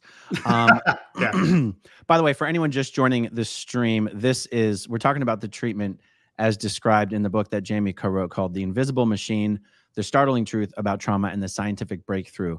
that can transform your life. All right. I just wanted to say hot moms. Please continue. Okay. So what he's all so what what happened is he, so he's he's not interested in trauma. This guy he's just interested in relieving menopause. He's he, innovates this 100 year old shot, and some of these women start coming to him and saying that their post traumatic stress went away, and he and, and it's consistent, and he can't understand it, and he can't believe it. So he starts researching, and basically, he had found the sympathetic nervous system, and then he's innovated the shot. Up until about 10 years ago, the shot was done at the lower right C6 vertebra. They use an injection sound to find the stellate ganglion. They use an ultrasound, and then he injects the same $2 amount of anesthetic that goes into an epidural, bupivacaine, and he basically turns off the sympathetic nervous system. It turns back on 10 minutes later at baseline.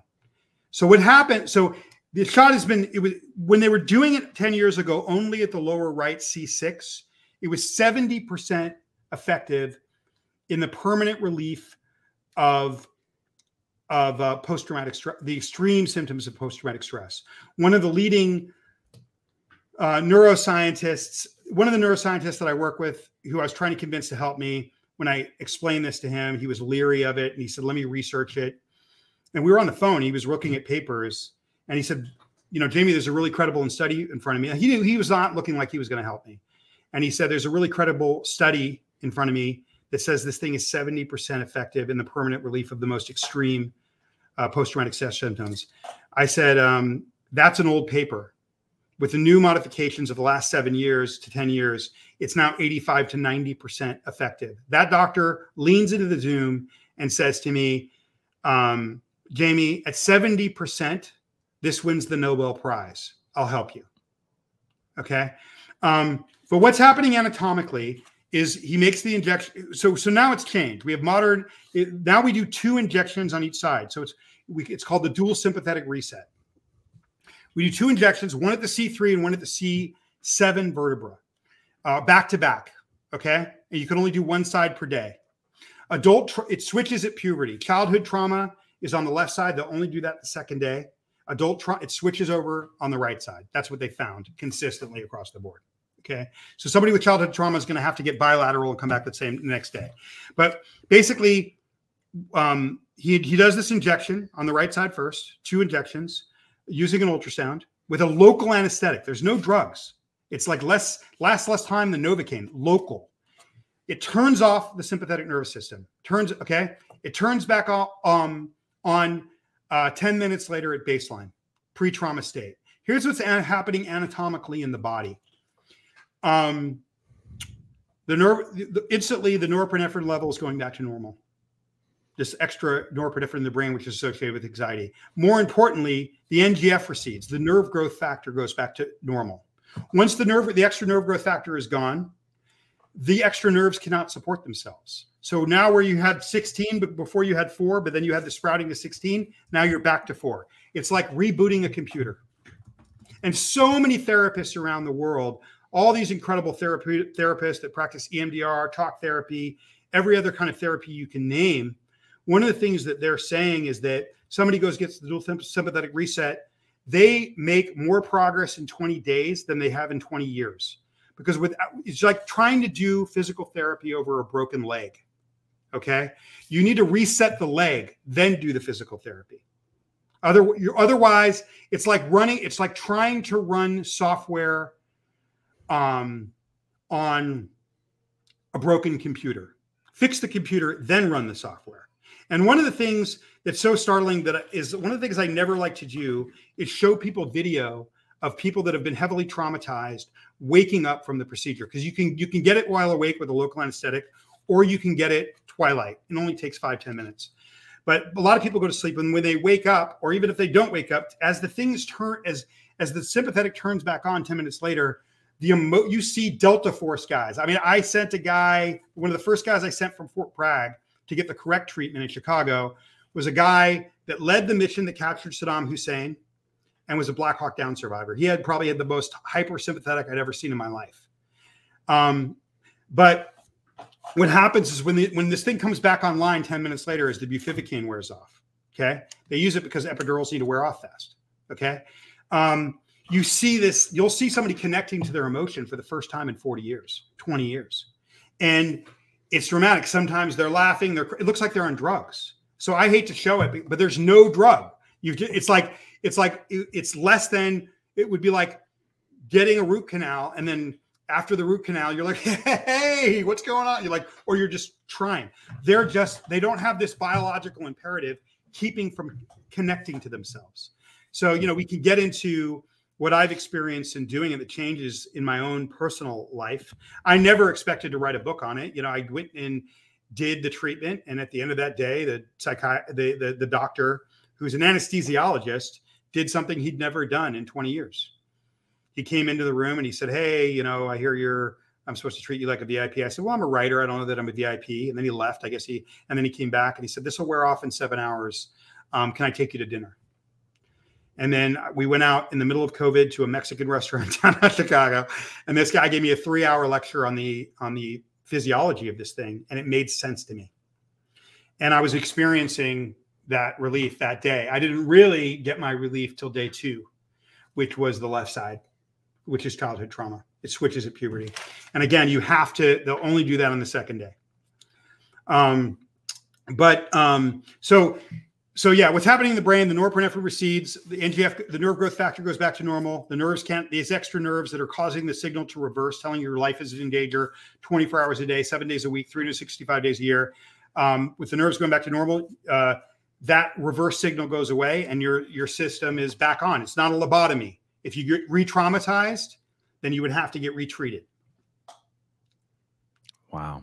What? How would people get this treatment? Like, if anyone's watching and wants to get the treatment, how would they go about doing that? I think they should reach out to. I'll give you a link so that anybody that is listening to this, people feel free to follow me on Instagram and reach out to me, and I'll get you a discount, a significant discount. I'll get you forty percent off or 30 percent off or something like that. 30 like physically yeah. or you said there's like 30 clinics are these the only places where someone can get this treatment um no there's other people that do it but i you know i think there's the the stella doc the stella center has the doctor as the chief medical officer who i wrote the book with. And i believe that his protocols are the best in the world. I don't i'm not to say that there aren't other good doctors but in my opinion if you're not getting this and again i don't have i don't get anything from them. I don't work with them. Um, other than i believe that you need to be getting the stella protocols. And the, uh, four years ago, a, a, multi-billion dollar private equity firm started started the Stella Center to open up clinics all over the world. There's 35 clinics in the United States. My suggestion: they've now opened massive flagships in Chicago, New York, Washington D.C., and Orange County. Oh, there's a word that you're saying that I think I keep.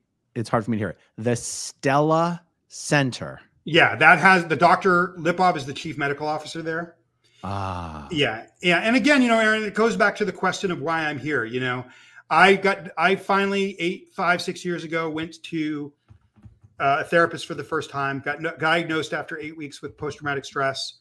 Um, I laughed in the therapist's face because I thought I because I the last thing I was ever going to admit was that I was a victim. This woman, when I laughed in her face after the stories that I told her, I mean, she looked like she was going to cry. And she said, Jamie, have you been listening to the stories you've been telling me? I said, Of course. And then she said, How could you not? Hmm. And I got to tell you, it was another one of those moments, Aaron, where like part of my life narrative, when you grow up in this group and you've been so indoctrinated, you know, the the the decompression or that they call it, or the wear off period, or the figuring it out period takes a long time. But you'll also have huge moments of, oh my God, right? Where you'll lose huge chunks of it. So this was one of those moments where this woman looked at me and I went, "Oh my God, I'm a I'm a liar. I'm a complete liar. I'm I have been victimized. I am a victim of extreme, I would almost call uh, physiological torture and abuse that lasted years. And because I was taught the last thing you could ever be is a victim. And so I had met a military doctor that had just who had worked at TAPS for 15 years, that had just become the chief psychology officer at the Stella Center. And she started telling me about how new science had showed that post-traumatic stress was disorder and they could now um, uh, remediate the nervous system. Okay. I I like the I it instantly was like, oh my God. And I'd become friends with a psychiatrist and he had never heard of it. He was only treating the brain. Okay. And I mean, he'd heard of it, but he knew nothing about it. He's and and then he gave me a very good way to evaluate it. It's completely safe. They've been doing it for 100 years. It's got um, they use an ultrasound. You can't really miss. Go to but but what he explained to me is like, okay, what's the potential downside? Like, what's the danger of it? How invasive is it? Okay, and what's the potential upside? And it, and uh, and then he sent me some papers, and based on the construct that he gave me, in which I should choose to get it or not, it was very obvious that I should go get it. So I braved COVID. I braved COVID in the middle of. There's nobody on the plane. It was the beginning of COVID, uh, and uh, I was on the plane with five people and went to Chicago. It was very much like Vanilla Sky to the surgical center in downtown Chicago, and got these injections and it was the most transformative thing I ever did for myself. And the way one of the ways that I would best describe it, because one of the things that happens is once you get used to it, you'll forget how you were before it, and you'll forget how much it did for you. But what was happening for me is some of the best days of my life, Aaron, were the worst days of my life. Anytime something good would happen, signing a major book deal, you know, getting some incredible art commission, you know, like, you know, things things that, you know, winning a book, you know, winning, you know, a massive book award, you know, things that I, somebody who grew up not going to school there in life should have never been able to accomplish, right? One of the things um, that would have is, is, I couldn't enjoy it. I would only be thinking, but while signing the contract, about everything that could go wrong. I would literally think these people are going to find out that I was somehow affiliated with Lafayette and his philosophy and take my deal away. Mm-hmm. That's the level of inculcation and indoctrination that I had. Um, so in the last few months, you know, you know, it's been, you know, uh, and again, I want to thank you. You helped me because I was just talk, talking to you, um, just as a friend. And you know, I never when I when you and I first started talking, I was never going to speak out. We were just talking. I just was curious about you, and I knew your wife back in the day uh, in LA, and um, you know, you know, you said some things to me. You know, I just wrote this kid's book on resilience. It just came out, a kid's book about resilience on a kids co, uh, uh, and it's kids book. They're one of the top, the largest uh, publishers in the world for kids, and they make they only write books for kids on difficult topics, like a kid's book about war, kids book about cancer, all the things you're not supposed to talk about. And I was selected to write. A, it was on a few years ago. They were on Oprah's favorite things. They'll be on Oprah's favorite things again this year. Um, and I was selected to write a book called A Kid's Book About Resilience. And one of the things is, a few months ago when I was writing, you know, writing that book, um, I was. By the way, Jamie, I'm showing this on screen, and I just want to point out to everyone the book came out like yesterday. So, yeah. So if you go on, it's on Amazon, but they have the back cover up. The thumbnail's wrong on Amazon. So if you go to Amazon to buy it, you'll see this orange thing that says "Kids are ready." They're fixing it, but that is the book, and you can order it by name, even though the thumbnail's wrong on Amazon. But buy it on Barnes and Noble if you want it. But I was writing this book, and I'm telling kids how I did it. A lot of times, everyone wants to know how do you not go to school your whole life, be semi-literate, and the physical damage of the injury, and also just being illiterate it was wearing on my body. People were like, "What was that like?" And I always describe like Vincent D'Onofrio in Men in Black when he's like the farmer that's been taken over by the aliens. That was me. I just was a com- I was a complete wreck. I had a big mind, but I couldn't do five year old math. I couldn't use periods and sentences. Um, it was, and I was humiliated by it. 19 years old when I escaped. Um, so God, where were? Oh yeah. So I'm I'm I'm writing this book on resilience, and and and and I'm t- I'm saying things to kids in this book about doing things the hard way, not running away from from hard, but running toward hard. And when you get on the other, there's a lot more in the book. I'm just going to give you a teaser. I don't want to give the whole book away. Okay, but when you run toward hard and not away from it, when you move through hard, and again, not in that the way out is the way through thing, because Jeff Hawkins says the way out is the way out. But when you move through hard, you, you do the work to learn and rebuild yourself brick by brick, which is hard. Okay. When you are going to a community college and you're doing remedial English and remedial math meant for a five year old, that's hard. At, at 20, that is fucking hard. And it makes me emotional because it was brutal. But um, I'm saying to these kids in a kid's book about resilience, when you when you can face hard and do it brick by brick, everything great in life mm. um, lies on the other side of hard. Okay, and what kept popping into my head, I think this is before I reached, you know, you and I were talking. What kept popping into my head is uh, I wish I could face my shame. But again, that shame and that humiliation is very, and again, I wasn't molested. Okay. And, I, and some of the kids I grew up with were, so I don't want to, I, I, but so, you know, that was maybe the only thing that didn't happen. But when the, a lot of the shame and affiliation, uh, a lot of the shame and humiliation that I carry, it's connected to what was physically done to me in those years in the dorms so I'm telling these kids run toward hard, do hard, and you'll have a better life. And I'm thinking, well, what's the hardest thing that I'll never do? Is tell the truth about my childhood.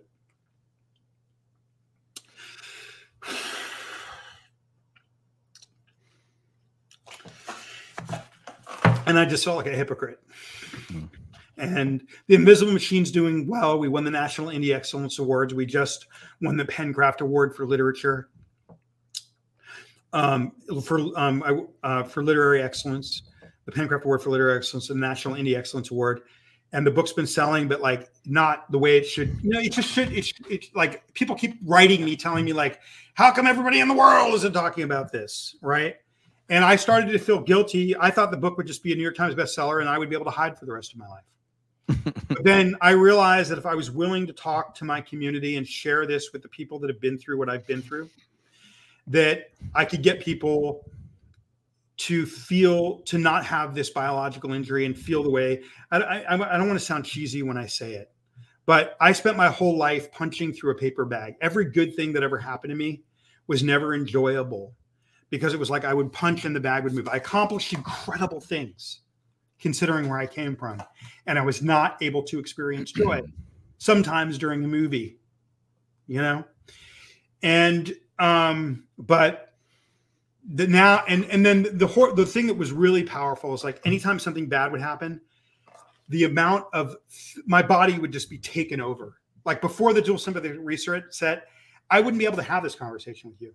I would be back downstairs in my bathroom in the fetal position with, with cold water running on me.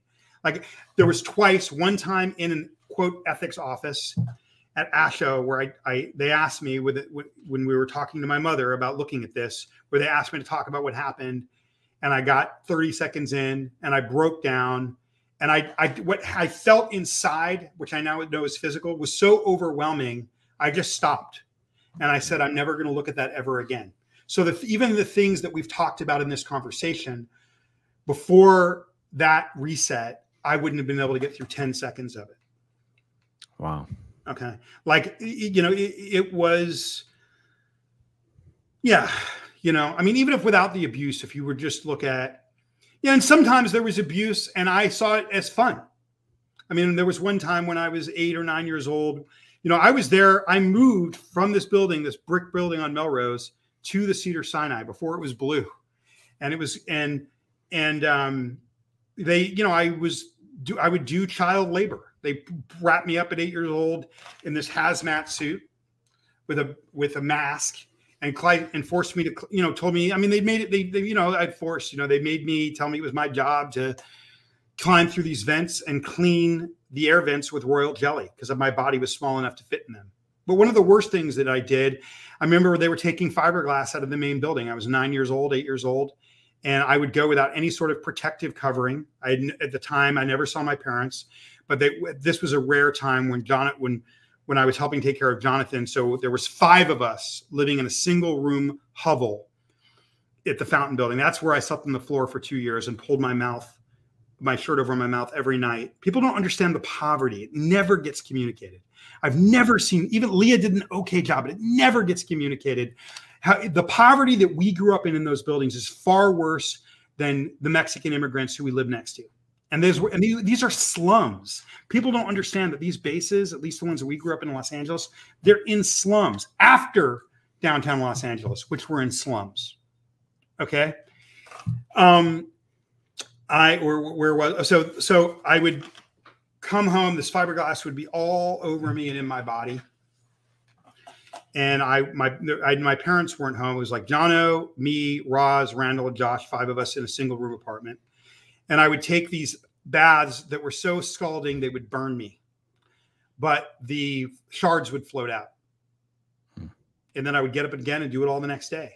In that, in my, my in my child mind at the time, I saw it as an adventure.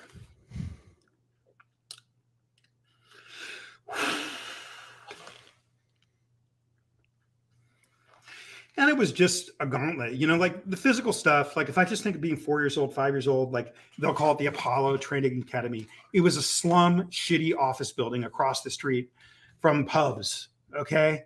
It was not a training academy. There was no schooling that occurred there. It was a dirt patch and concrete. And with with ripped up tile. So i hate it when i see ex people or people that were involved use these terms like it was a real thing. Okay? It was just a slum with a stupid navy name. Okay, where we warehoused ourselves all day. There was no schooling there, okay. Um, and I remember probably, you know, the, you know, maybe there was a time when I was seven years old, hanging out there during the day, right when we moved, and I got upset, and quick, really quickly, these kind of, you know, the, the, it was the it was the worst of the worst that became nannies, except for a couple people there was an amazing man that named Scott Foster that saved my life. But most of them, they were there being the nannies because they were the most useless. okay. If you had some, you, you know what I mean? And so, and they're the least happy. So, you know, this guy starts barking terms at me, you know, knock off the bank. Um, uh, no H&R. I didn't even know what it meant. Stop dramatizing. This is from two years, three years old. Anytime you cry, you're told you're dramatizing and you're being, it's your reactive mind. You're a toddler. You're not allowed to experience emotion. You're a trillion year old fallen God with all the experience, you know, of, of a billion lifetimes. Okay. And I think to not allow a child to be emotional is sadistic. And I remember when I was in the prison and I'm interviewing this murderer. He's in the book named Fred Miles. And he's been in for 37 years. And he committed an impulse crime when he was a kid. And he's got these symptoms. And I'm explaining the system to him. And he's like, what's interesting is when I explain the system to working class people or people that grew up poor in the projects, they get it in 30 seconds because they've mm-hmm. seen it their whole life. And I'm explaining this to this this gang member named Fred, and he's, I mean, he's, you know, just like he's just he's his life is flashing before him. Like if I had had that, I wouldn't be here. Okay. And one of the things he said in that conversation, which was filmed, is I was there with two with two HDR cinema cameras and two highly skilled cinematographers. Okay, shooting in a cell in one of the largest jails in the American South. And he said, you know, his he, this guy was born to Eh, his mother was a prostitute, his father was a pimp. This is when, when he was born, and his mother was a drug addict when he was born. Talk about allostatic load, right? The, the Lafayette, the Church of Scientology does not have a monopoly on human suffering and misery. And one of the reasons I wouldn't speak out is when I think about how bad it was. I'm a survivor. You know, I don't like that word, but like, I don't want to have my life be in reflection to what those guys did to me. That's an existential choice I make. Okay. But, but I am that more. I mean, but I, but I wasn't a child soldier in Sierra Leone right? So one of the things we have to understand is that this group does not have a monopoly on human misery. But now that we know that it's a biological injury, we now know that the kid in Sierra Leone has the exact same biological injury for a kid that grew up in the Sea Org or the Space Cadets or whatever you want to call it. Okay. And that system doesn't think that injury is equal. It has a spectrum like a broken leg, but it's in a pretty much the same. If your brain is really healthy, your brain can mitigate against the nervous system a bit. Okay with a really, if you have had no hits to the head and done no drugs and alcohol. It wasn't helping me very much. My nervous system was, I lived in chronic anxiety so much that I didn't think when I did the treatment that it would necessarily work for me. When you're alone in a baby sitting in your own sick for hours on end, um, you know, I never had a baseline. Anxiety has been all I've ever known. I didn't know if it would work for me because I didn't have a previous state in my mind. I thought it was a part of me. Mm. Um, but um, you know, I, I mean, I, I, so yeah, so someone, it's not very expensive compared to all the other things you could do. Like for two months of stock therapy, you could afford to do this thing. And again, if you go through me, you'll pro- probably I can get you a 25 to 30 percent discount, which makes it incredibly manageable compared to, um, you know, what it would normally cost. And uh, yeah. How would you like people to get in touch with you? Uh, I'd like people to follow me on Instagram and send me a note. Or so the thing is, Jamie, I haven't put your name in the title, and your name's not on the screen other than Jamie. Well, so, are you on Instagram as Jamie Mustard? I am Jamie Mustard, the iconist. Okay, and in okay. the in the description video, in the video description, I'll put a link to your Instagram. Yeah, put a link to my Instagram. Put you can put a link to my website. They can send me a note on my website, and I'll also give you, yeah, let's do that. I don't want my email box to be insane, but there's not, you know, I get emails from all over the world from people that read the book, and there's not a person that I don't get back to. Okay. And again, I am not, well, I told the doc early on when I started working on this project, I am a art, I'm an artist and, and, and I do a thing called identity work, kind of highly artistic form of branding that I've done for some of the biggest companies in the world. I told the doctor when I first started working with him, I said, you know, I'm not idealistic. I'm not some, I'm not, what do you call a person that only wants to do good, like a do good? Altruistic. Altruistic. I'm not altruistic. I'm not doing. But what do I know, Jamie? I grew up in a cult. well, I told him I wasn't altruistic and he should know that before partnering with me. Um, and um, he said, I wouldn't trust you if you were. okay. Um, I thought this book, which is only being applied to the military and sexual assault victims, which desperate and first responders who desperately need it. 25% of the US population, maybe 100 people or 30%, 100 million people have this injury and they don't even know it exists. And the doctor is so focused on the military and first responders and sexual assault victims that if I don't do this, it's going to be 30 years before the word gets out. And now that there's places like if the Stella Center didn't exist, if that billionaire billion dollar firm didn't start opening up clinics all over the world, I would have never written this book because there would have been nowhere for people to get it. Everything, you know, the military provides it. And like I said, Obama endorsed it back in 2008. And the military's done incredible studies that prove it. Uh, but now it's going into the mainstream, and and uh, um, God, where were we?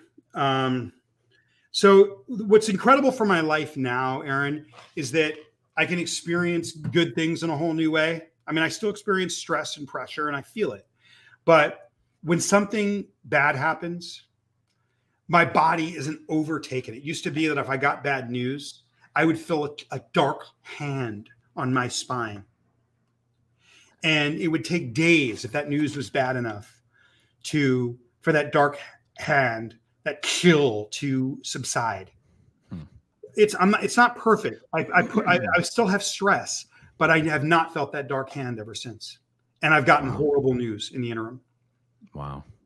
Uh, one one more time, and we're not we're not done with this chat, but I just wanted to take another opportunity here to uh, anyone just joining us. We're talking about the book, The Invisible Machine, co-written by Jamie Mustard. The invisible The Invisible Machine: The Startling Truth About Trauma and the Scientific Breakthrough That Can Transform Your Life. You can buy the book wherever you get your books.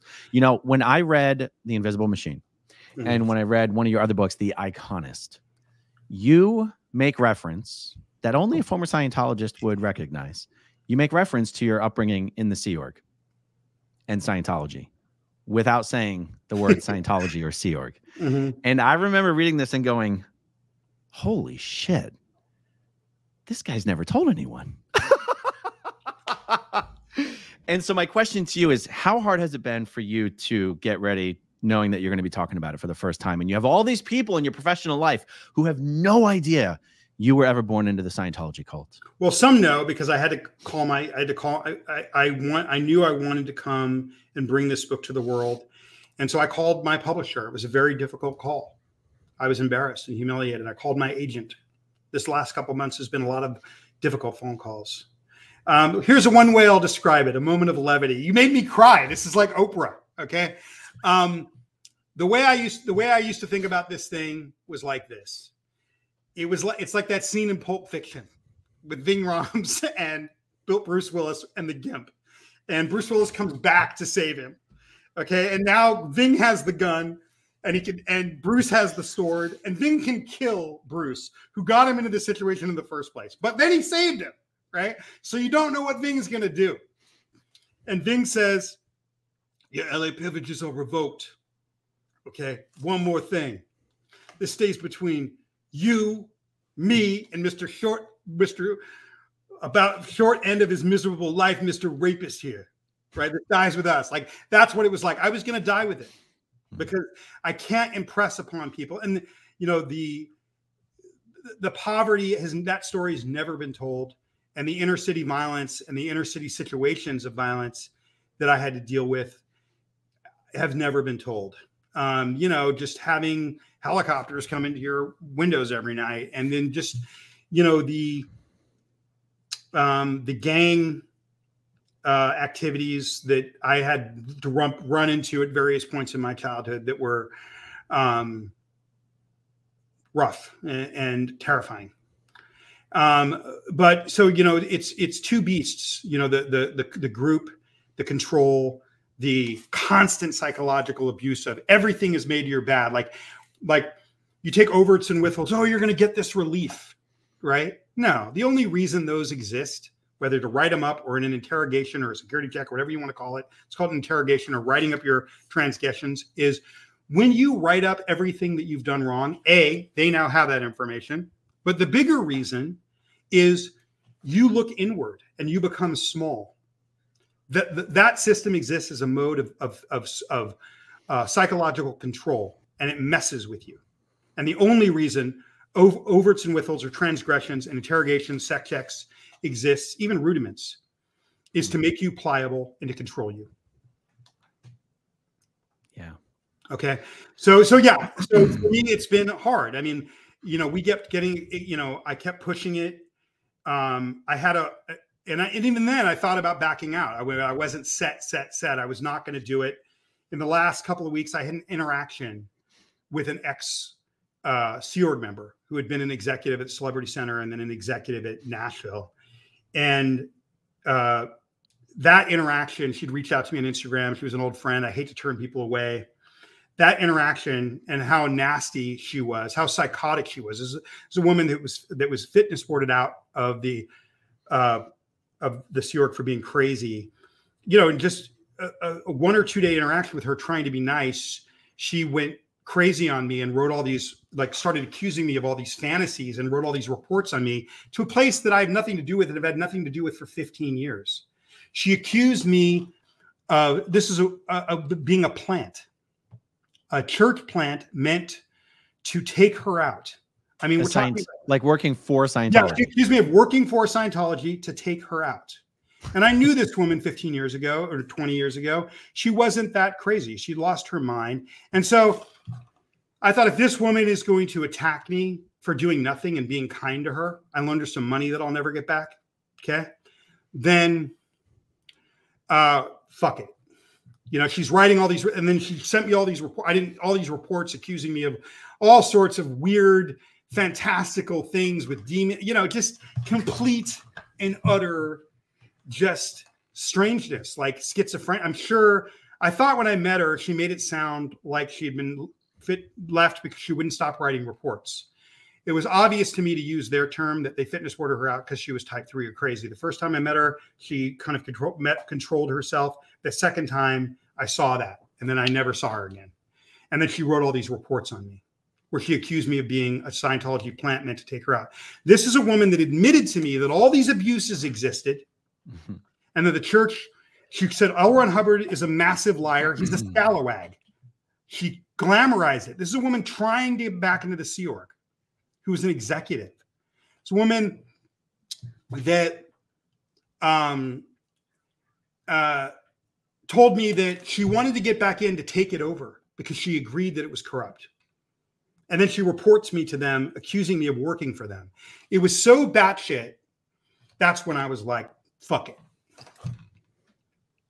Okay. But, you know, I don't want, they say we're only as sick as our secrets, you know, it's, I don't want to, again, Aaron, I think very, very differently. You know, the way that I got through this, and again, if you want to know how I got through a lot of this, whether you're an adult or a kid, buy a kid's book about resilience. And I'll give there, I lay out my formula uh, for, or a formula for being under what should have killed me and my mindset. Okay. But I'll say this I've never been angry at them. I don't have an axe to grind against them. I'm not trying to take them out. I've appreciated people like you and Leah who've made it easier for me to exist because it's just uh, by put by explaining it and putting it in the world. And um, but I never thought I, I am not angry. I, I, I my my view is like if I'm hateful or angry, then I you know that's like drinking. And I'm not saying this about you guys, but like it's like drinking poison. And like listen, the, the main way I would characterize it is, is this they took my childhood. It is a gauntlet, you know, of if I, of just a thousand million cuts deep, some of which should have killed me. And I have not spoken to, you know, another near death experience that I don't really want to talk about. But, um, for me, when I fig- when I finished LSC and I went back try to fix things with my parents, so I was involved a little bit, just to eh, you know, but I never really did much, you know.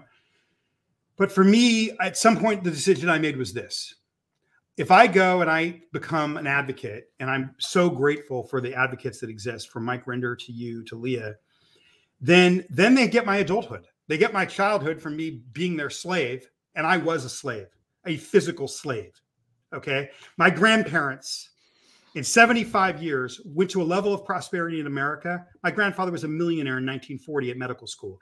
He used to go work as a, as a porter at, at Meharry at the at the train station in Nashville so that the other students would know that he was money he had money. Okay.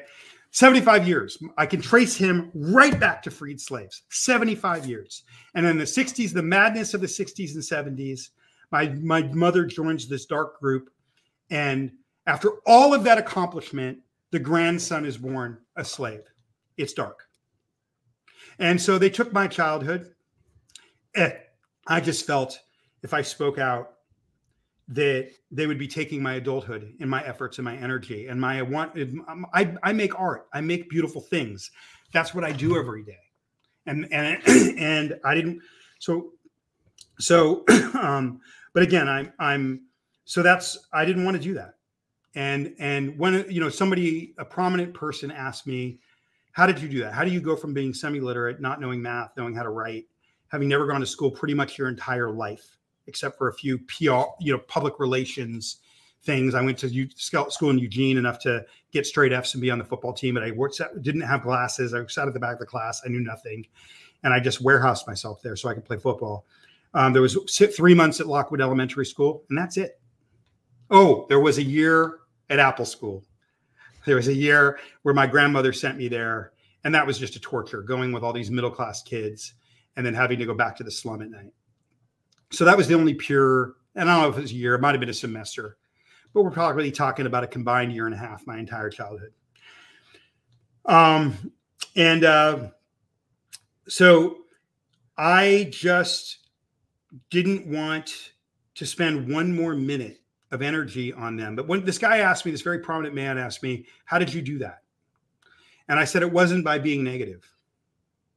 You know, I'm just, I was a people pleaser. And I was just that kid that always was curious and wanted to make the best of any situation. So I don't. I, I'm so grateful to you guys that have been willing to put yourself out there because I have not. And again, that's one of the questions I would ask you right now, Aaron. Like, I'm. I'm even in, in doing this. I'm concerned about people looking at my my art through the prism of that experience. Now that people will know that. Mm. You know? See, I think that it makes everything you've, you've accomplished even more incredible and more interesting and more noteworthy when people know that your background wasn't just growing up poor in LA, it was being raised in this human trafficking cult. Uh, I think you repeating that over, it, yeah, you you say, you saying that helped me. What you just said, and also you saying that over and over, like I do feel as if I was trafficked all the way until my adulthood. Yeah, sorry, I cut you off. No, I mean it just it adds uh, a, an incredible amount of depth um, to your story, in my opinion. Okay. And I was gonna I was gonna ask you I was gonna ask you. You said a moment ago that they'd already took your childhood. If you spent time focusing on talking about them, they'd take your adulthood as well. I uh, do. Do you still feel that way? I still feel like I really, really want to make art. You know, listen. I believe art can create social change. I believe arts and entertainment is the future of social change. A pop culture book that reads like a novel it's in Barnes and Noble, that to me is a piece of art. I was the architect of that book, not the inventor, but the architect of the book. Okay. Um, I worked on several writers helping with that book. They would all tell you, even my co author, that I was the architect of the structure of the book. Okay. Um, you know, one of the stories that's a famous story is the story of like, if this is true, how come everybody doesn't know about it? Or, you know, I, I asked Daniel Amen one time if this brain stuff affects our mental wellness so much, how can and you and you're the most famous psychiatrist in the United States, how come everyone isn't talking about it? And he showed me, he he screen shared a um, a quote from Max Planck, who won the who won the Nobel Prize for Physics in the 1940s, that said, "Medical innovation is won in funerals. You have to wait for your opponents to die."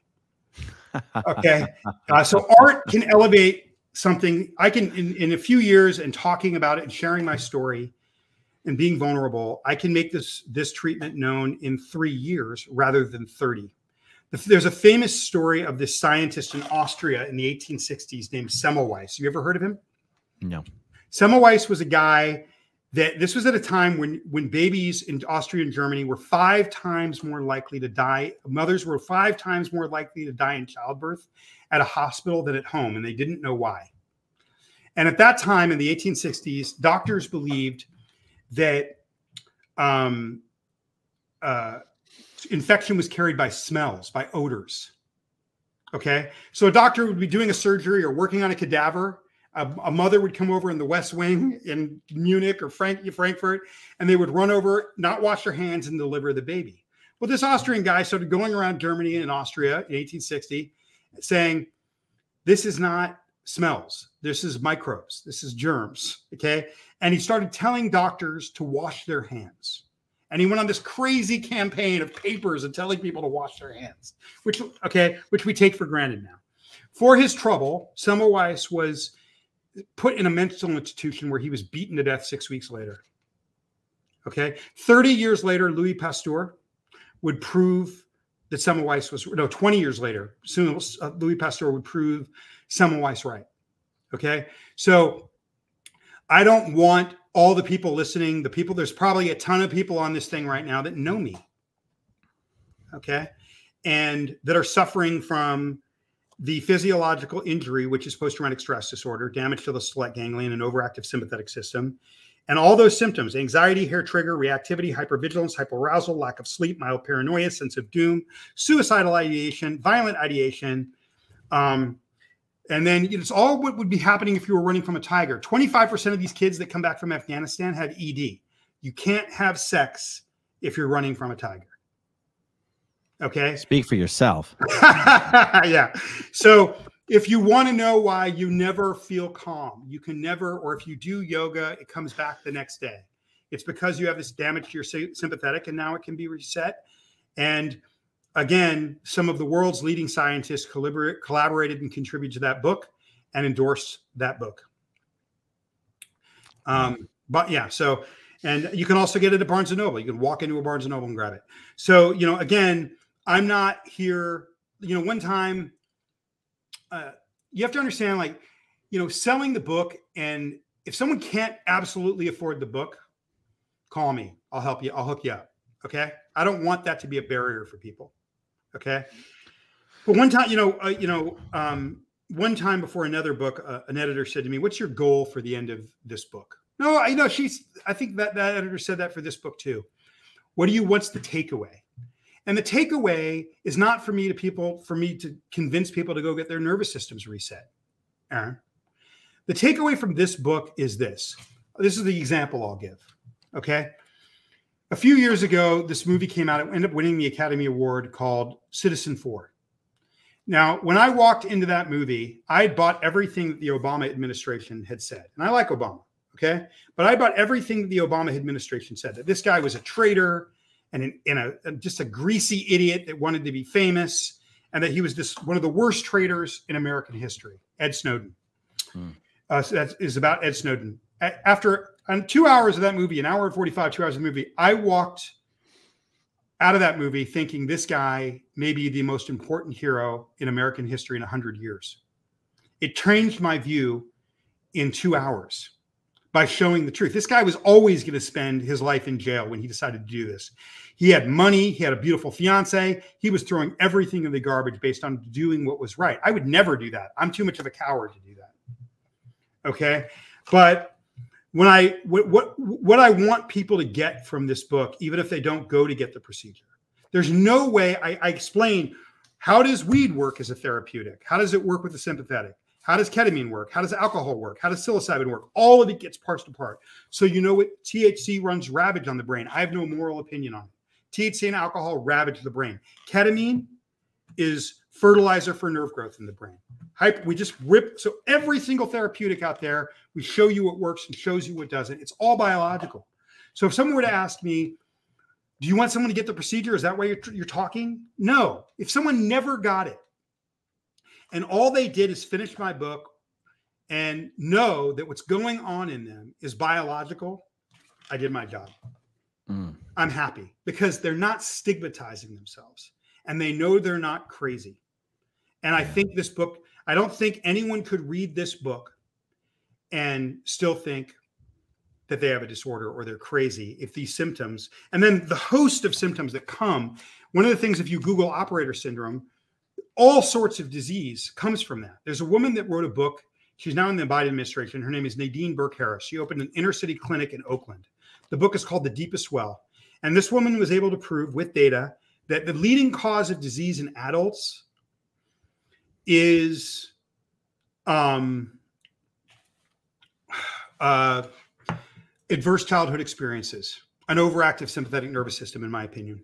Okay.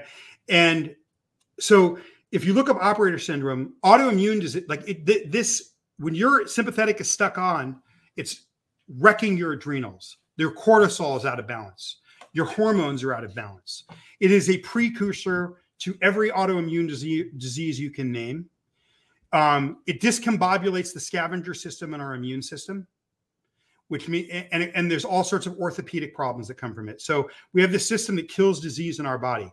When you have an overactive sympathetic and your hormones are out of balance, that system doesn't work as well.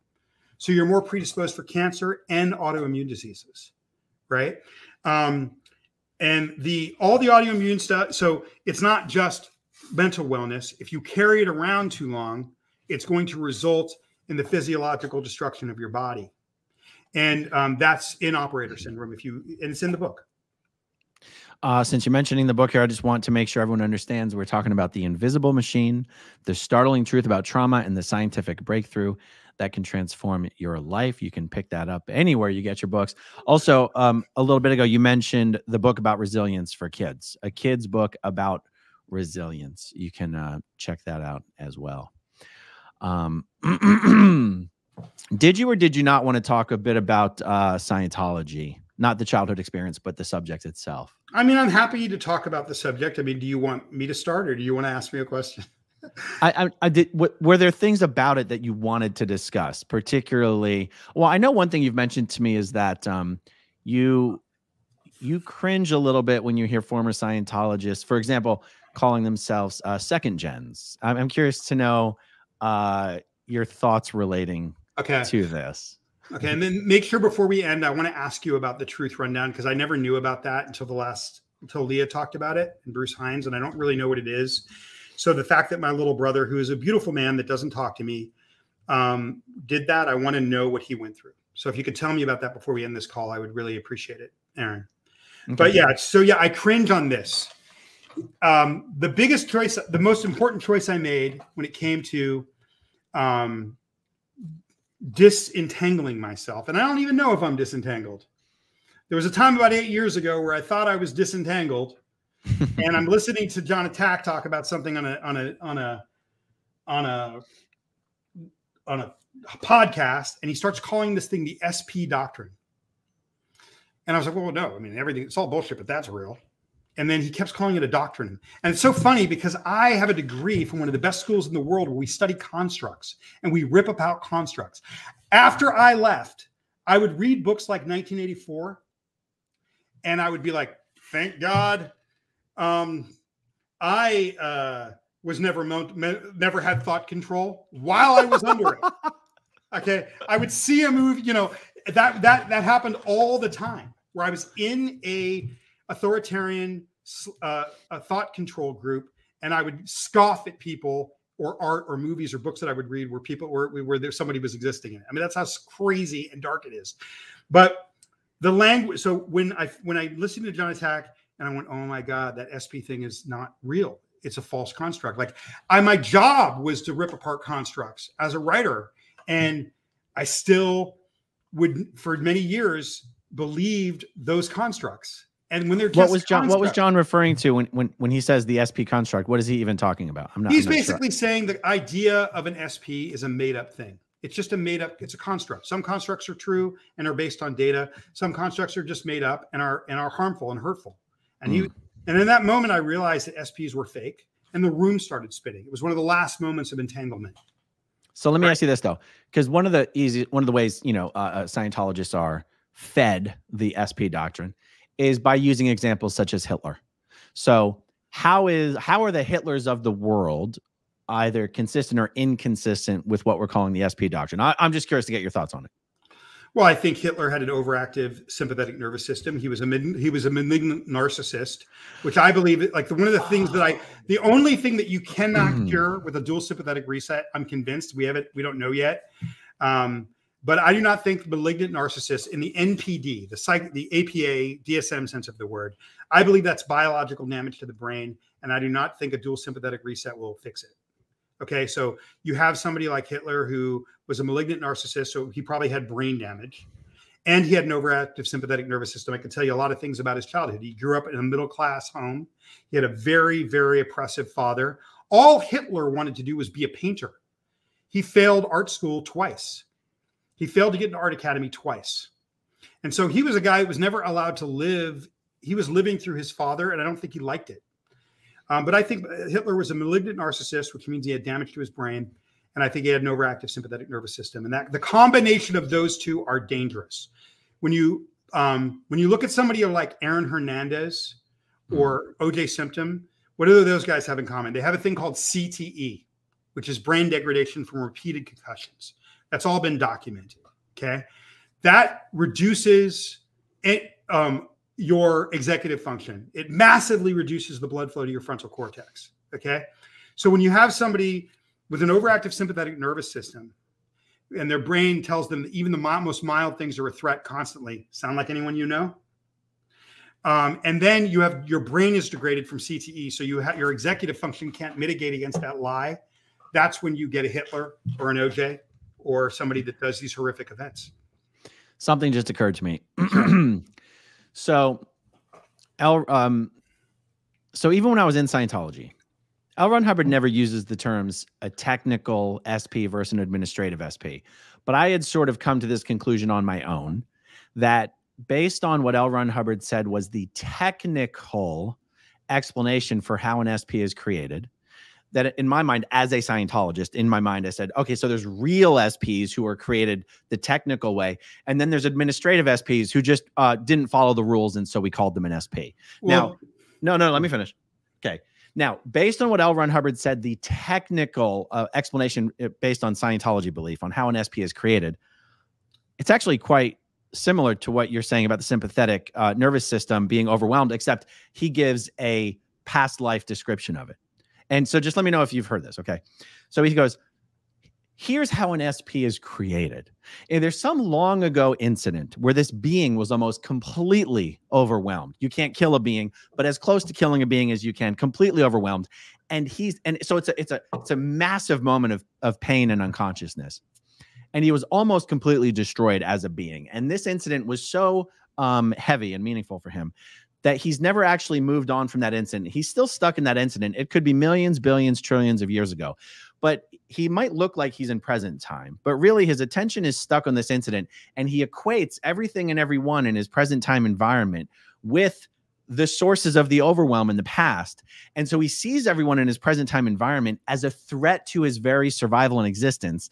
And that's why he is either overtly or covertly trying to destroy anyone in his environment or fight against anything that would improve the ability uh, or awareness of anyone in his environment. And that's technically what makes SPs SPs. Does that sound familiar? It does. And I and I could one and I could 100% say like if you look at these kids that are all you've gotten so many of these kids to speak out. They have overactive sympathetics and they're pissed off. You know, the Aftermath Foundation is kind of doing what the church could easily do or the organization could easily do, right? Like we all know these kids were harmed Okay. They stopped having babies because kids were getting pissed off and angry. Or, you know, the, the lie is, oh, you know, parents were distracted, right? It's not why. The kids mm-hmm. were, quote, flapping and creating massive problems. So we know that this existed. All this organization would have to do is what the governor, the president of Australia did a decade or so ago, which is make a public apology, as he, this guy did the Aborigines, and create funds for improvement when I say reparations, like I don't believe in reparations in the technical sense of like writing a check. But all that they would need to do is make a public apology to the children, stop the practices, create an educational fund with $5 million in it that they constantly replenish, and uh, allow kids uh, acts to apply for this money for any kind of education they want, beauty school to college, with a public apology. They would save that $5 million would be saved in attorney's fees in, a, in two years. Okay. Um, so you guys are actually doing some of the repair work that they could easily do to fix it. And then this goes to the language thing. It's not about fixing it. It's about we got to fucking hurt them. If you want to make a save the world omelet, you're going to have to crack a few skulls. And because that's the mentality, they'll never look at just the soft, easy handling that, that you guys are actually kind of doing by helping people. Okay. Right. Back to the language. So, yes, if somebody has an overactive sympathetic, they're seeing a threat everywhere. They're overreacting and treating somebody that's benevolent as a threat. That would be a characteristic of a suppressive. But that's a fake doctrine. There's no such thing as a suppressive. You add brain damage, right? If you look at a brain scan and you look at somebody that's had a lot of TBI in a car accident, you're going to have uh, also decreased blood flow to the frontal cortex. If you look at somebody, if you go to a prison where most people self, 99% of the people self identify as having drug and alcohol problems, you're going to see brain toxicity. What are you going to see? Re- decreased blood flow to the frontal cortex, just like a TBI. They call it brain toxicity.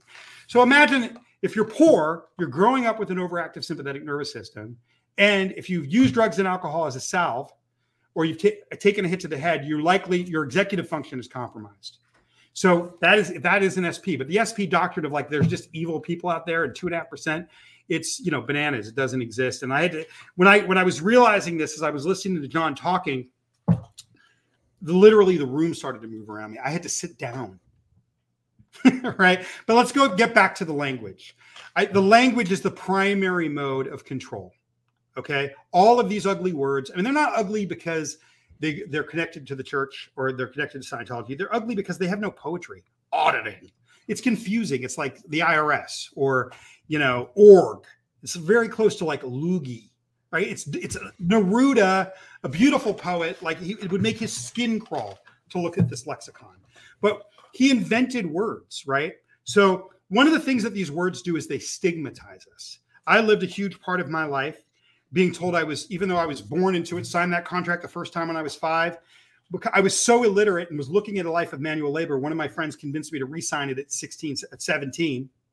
Okay. Um, then for the rest of my life, after I escaped, I was an ex Sea Org member. Mm. And I took on that stigma. I believed it. Ah, they ah. they were stalking me while I was at the London School of Economics, like a like a slave on the run. Okay. wow. And um, uh, so, and then, or an ex Scientologist. You're basically extending, they're all, someone asked me, Aaron, if you could describe Scientology in one word, what would it be? Human trafficking cult. Okay. That's okay. So we'll use uh, five words. The second thing I would say would be judgment. Oh, Ju- oh, oh. Yeah. Oh, It's- describe it. yeah Okay. yeah if i describe them and it's, it's a pretty judge it's it's the most judgiest group on the planet there's Ah. the word words you'll never hear from sea org executives and scientologists grace Mm. And the only time you'll hear the word compassion is when it's associated with the re-education program which is a brutal destruction of a human being physically and mentally.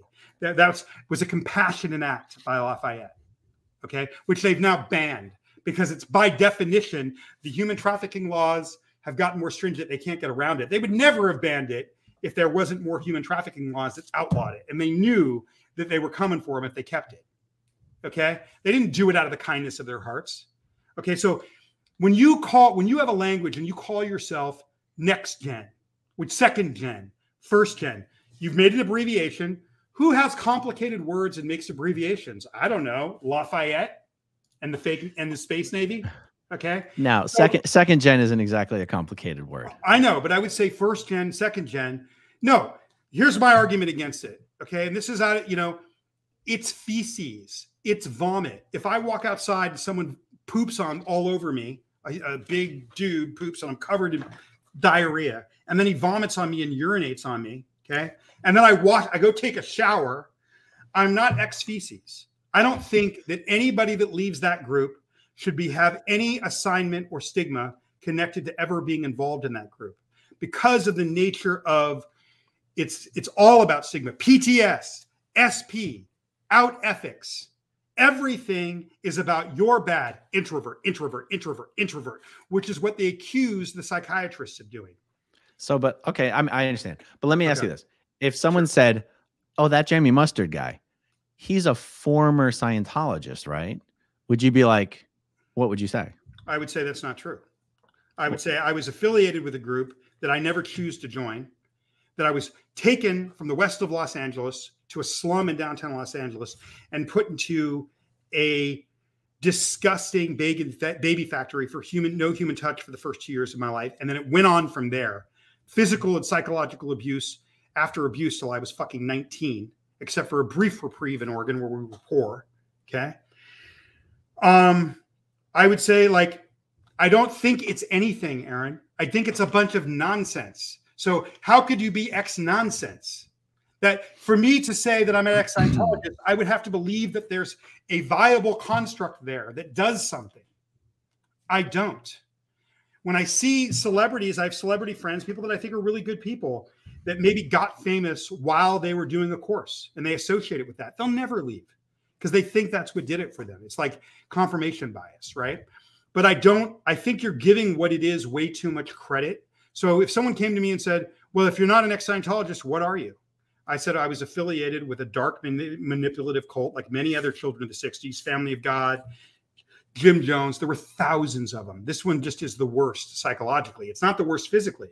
There were like Family of God was a molestation quote. So one of the things that I don't want to do is get overly attached to my own abuse and having it be special from somebody else's abuse.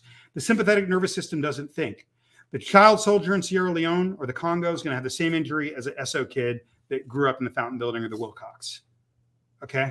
So there's nothing there. So to call it, to say that you're X that, I'm not X feces. It's it's a it's a it's a weird conglomerate. I mean, I heard Karen Della, Karen Della calls it a Frankenstein. It's a weird Frankenstein of feces and vomit that does all sorts of weird things and um, that really just constantly induces dopamine and positive suggestion. Okay. And so why would you say you're X that? Because it's nothing. It's just feces. I get it. I mean, okay. If you want me to tell you, if you want me to tell time, you what I really think, but argue with me. I mean, I, I, you know, we don't agree on everything, and that's cool. And you know what, Aaron? But, but at the but at the same time, everyone who's talking about their experience is talking about their experience and you can't say how can you talk about your scientology experience without saying that you were in scientology? So you don't, it seems like you don't like the word former. So if someone said oh that jamie mustard he was raised in scientology wasn't he? Would you say listen, no i wasn't listen here's what here's what i would say okay? Yeah. i don't believe that scientology is a thing the same way i don't believe that sea org is a thing. This is that being said i have no judgment. If you want to call yourself a, a second gen or somebody else does nothing but love.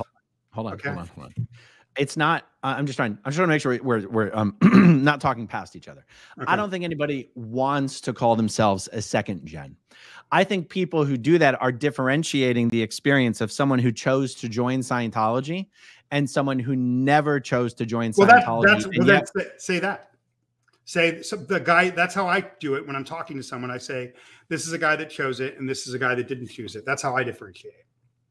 Okay right? So that's one way I differentiate. But I also think, and I'll go further, Aaron, that I would say associated with a Frankenstein mix of chemical mix of feces and vomit, that it also known as Scientology, that I was formally connected to that feces and vomit or involved with it. I don't think there's such thing as a Scientologist. I don't. I think it's somebody that's engaging in something that's hurting themselves and others. Um, while they think they're doing good. I mean, that's the part that makes it so dark, Aaron, is most of the people that we know that are still in there, like my younger brother, he's a beautiful man, doesn't talk to me. They're good people. It's the best people, the altruistic people that want to make a difference, that want to help. The other thing that I'd like to talk, so I think the language is dangerous. And well, last question on this. Yeah. Last question on the subject. If um if someone was mentioning your brother Jono Reese and someone said, "Oh, Jono, is he is he still a Scientologist? What would you say? I don't know. I don't know. No, but I don't. But I don't mean whether okay. you actually know or not. Like, let's just say you know he is still involved in Scientology, and someone. I said, would say he is still covered in a Frankenstein conglomerate of vomit uh, and feces called Scientology, okay. but it's not really anything. Like Fair the Sea Org isn't even incorporated. Like I just don't see it as anything. Like you know, you have these people working Thursday at two with stats for years, like this tech that's going to save the internet, opening up a new era of international expansion across the globe. Right? You have this thing, this propaganda at all these events. I mean, that stage is so big, it would make Hitler blush. Okay, that's what left. So, Jamie, yeah, Jamie, we ha- we have to request that our um our contributors who watch all of uh a lot of a lot of our content Okay. Uh, someone send me some AI generation of a Frankenstein monster covered in feces and vomit. okay. So that we can use that to represent. okay. So we never have to say the word Scientologist. Okay. Or former Scientologist. okay. So, like, you know, listen, I don't judge anyone. You know, there's a close friend of mine who got out when I was in my 20s who tried to pull me out with her. And I don't think she would mind me mentioning her name um, I and I so wish I listened to her. You know, Sherry Allens, and um, I. um, Yeah, I just, I just, I, I, and one of the things Sherry said to me one time was, I just like, I want my family. I was just coming back from uh, London. I wanted my family. I wanted to try to have, I didn't, all the other people I knew were involved in this in some way, you know, and they were good people and I loved them and I wanted to see them. One of the biggest misnomers or mis, the things that are misconstrued about this group is that only an idiot could be involved in this group. And it was the geniuses involved in this group that kept me in. I had moments of doubt from day one but then you'd like meet Gottfried Helnwein, like he's a fucking genius. Or you'd meet, you know, um, Chick Corea, or you'd meet, you know, so many brilliant businessmen and scientists that I met in Clearwater. And they were like, God, if, if this was not true, how could this humanitarian genius be involved in this for 30 years? It must be true. That's just my reactive thing, right? So yeah. one of the things that Sherry said to me one time when I was like, I don't know that I can ever talk about it. She said, you have to compare it to coming out of the closet as like a gay person. Everyone needs to be allowed to do it their way. I called Leo one time because I was dealing with some narcissistic people in my life. This is years ago, five years ago. I don't even know that she would remember the phone call. And I was telling her that I was dealing with these attacks. And you know what Leah said to me? She said, Jamie, let me, let me do you a favor. Uh, stop hanging out with people that act like Scientologists and you'll be fine. she was describing judgment. Okay. All the terms stigmatize you. Your PTS, you're at ethics, you're downstat. It's all about introversion and making you small, you're pliable. Okay. So, um, but that being said, because it's such a personal experience, if you said to me, um, you know, Jamie, I'm going to call myself an X that for the rest of my life. I'm XSO and I'm X that. Like all the love, dude. I have no thought or judgment on that. That's such a personal decision. It's like coming out we can't tell each other how to do that. The compassionate thing is to let each other do that in, in the way that the other person has to do it. I was able, I'm I'm gonna be scarred for the rest of my life. People say, like, how did you get over it? How are you through it? I'm not. It's an open wound, Aaron. And it probably will be for the rest of my life. You're fucking angry. Your brother's dead. They took your childhood. Okay. How could I possibly have an opinion on you saying fuck these guys right somebody has to do it i'm grateful that that uh, you and mike you know the, in the beginning when mike first came out i was very resentful. I was like how dare him? But when i've seen what he's put himself through um, i feel like he's found redemption and my respect you know? Um, but i was terrified you know? Um, yeah, everybody needs to be allowed to do it with compassion and grace, real compassion and grace, not the compassion of the re-education camp of manual labor, running everywhere, wearing a Holocaust um, band. But the real compassion and grace means non-judgment, allowing someone, even the term granting of beingness, such a horrible, horrible term. We all exist. We're all important and we're all valuable, and no one has to grant that to us. We deserve it and we're born with it.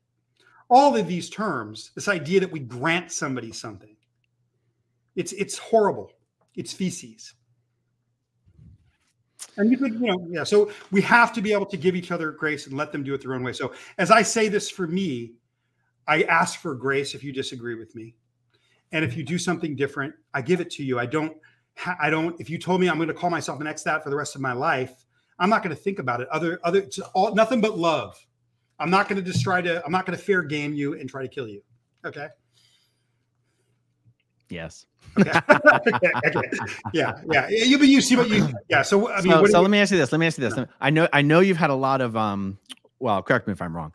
Uh, anxiety or or concern about. Oh my God, what what is going to be the results of me speaking out? Is it going to change how I'm perceived? You know, Scientology didn't come after me. How how are you feeling? Maybe it's not fair to ask you right now. How are you feeling about having this discussion so far? Good. Um, I didn't know if I was going to be able to do it. I didn't know what was going to happen today. You know, um, I have to be. Listen, you're a force of nature. You scare me a little bit. Okay. I'm used to being in, I'm a smart guy. I'm used to situations where I can kind of control the situation. I don't feel like you're controllable. So the only, you know, I decided to talk to you because you kept saying, you know, in our conversations, you said some things to me that I couldn't unsee. And one of the things that you said to me was, um, people will think you're more interesting. They'll understand that it wasn't your choice. So when I went to these very important corporate partners of mine, or you know, or or agents or whatever in in my life in the last couple of months, it's you know, you were really the catalyst for that. Um, it was like one of the things that was universal is like, how could you feel embarrassed and humiliated about something you didn't choose? That was not what I expected. Again, the I can't describe the poverty, the physical defilement of my body, the slavery for almost 20 years of just feeling like I was a part of a Borg and I had to do whatever I was told, working seven days a week, 18 hour days. You know, the lack of sleep, you, you can't rest. You know, like and then just the physical things that happened to me the, the near death experience that i haven't mentioned the chronic ear infections. Head lice so bad every year that that was the only time i would see my mother is when she would comb out my head lice using a steel comb baby oil and quell. You know a combination of oil blood and steel. Chronic. Head lice so bad that because it had gone on too long that, that at the point you were next to my head, the, they, these things were jumping off my head, right? And I'm not even getting into, you know, roaches and rodents and the criminal activity of the environment. You know, my brother got involved with gangs. One of my older brother, and at one point, this gang that he got, this gang member in South Central, he got involved with. He was doing drugs, doing whatever he was doing. I don't want to throw him under a bus. He's a good guy, beautiful man that wasn't given. You know, he's just a beautiful man um, we had to sleep in my mom's auditing room for a week because this kid uh, was going and he was going to bring his brothers to kill us. And it was a viable enough threat that we slept at AOLA for a week or two in the auditing room. Wow. Right. People don't understand the inner city nature of this. They don't know that a gang around that environment killed a Sea Org member with his daughter while walking back to one of the buildings that they house people in on Edgemont. They don't know that 99% of these bur- these buildings owned by uh, Lafayette's Space Navy, this the Sea Org, are all ridiculously disgusting slums. He's living in the lap of luxury and you live in a slum that you can't even believe. For no money they could fix that compared to what they spend on lawyers. Um, it's very it's identical to fascist communism right? The, the guy at the top. But i do believe he believed it. And uh, i just want love you know compassion and empathy and grace to be i have to you make my own existential choices. I want compassion empathy and grace to be the way that i treat people. And i want to thank you and you know god leah I want to thank you and Leah, you know, because I feel like it's really, again, you guys stood on the shoulders of amazing people. Henry, you know, uh, Lawrence Wright, Alex Gibney, Janet Reitman, you know, uh, but what you and Leah have done is make it understandable to the public so that I don't feel like less of an, so I feel like less of an alien You've made it so that people can interpret what it is. When people look at this group, they think, okay, Scientology is a cult, Jim Jones was a cult, Charles Manson was a cult, family is a cult, somewhere worse, the Moonies is a cult, Jehovah's Witnesses is a cult, and they're all just cults. And they're all kind of the same. No, they're not the same. Jim Jones killed everyone. I, I, I want to be alive. I'm happy to be alive. Okay, the family, all those kids got molested, the boys. Okay, the Catholic Church has done horrible things they don't have a monopoly on misery. But in terms of mental control, and what again, one of the reasons I'm here to answer your question is this. Um, over the last 10 years, I do a lot of creative conferences from TED to I hosted a creative conference in the town that I live in over the last 10 years. And one of the things that I saw repeatedly as a creative idea is there was a group that was helping inner city kids. And the way that they help these inner city kids heal is they make them study Shakespeare and write their own story. And what they found is when someone can master their own story, they can master their life. There's another incredible writer friend of mine who grew up abandoned by his parents who were drug addicts and became the most successful guy in the world, one of the most successful public speakers and, and, and guys in the world. He's a good friend of mine. And he always talks about unless you master your story, you can't master your life.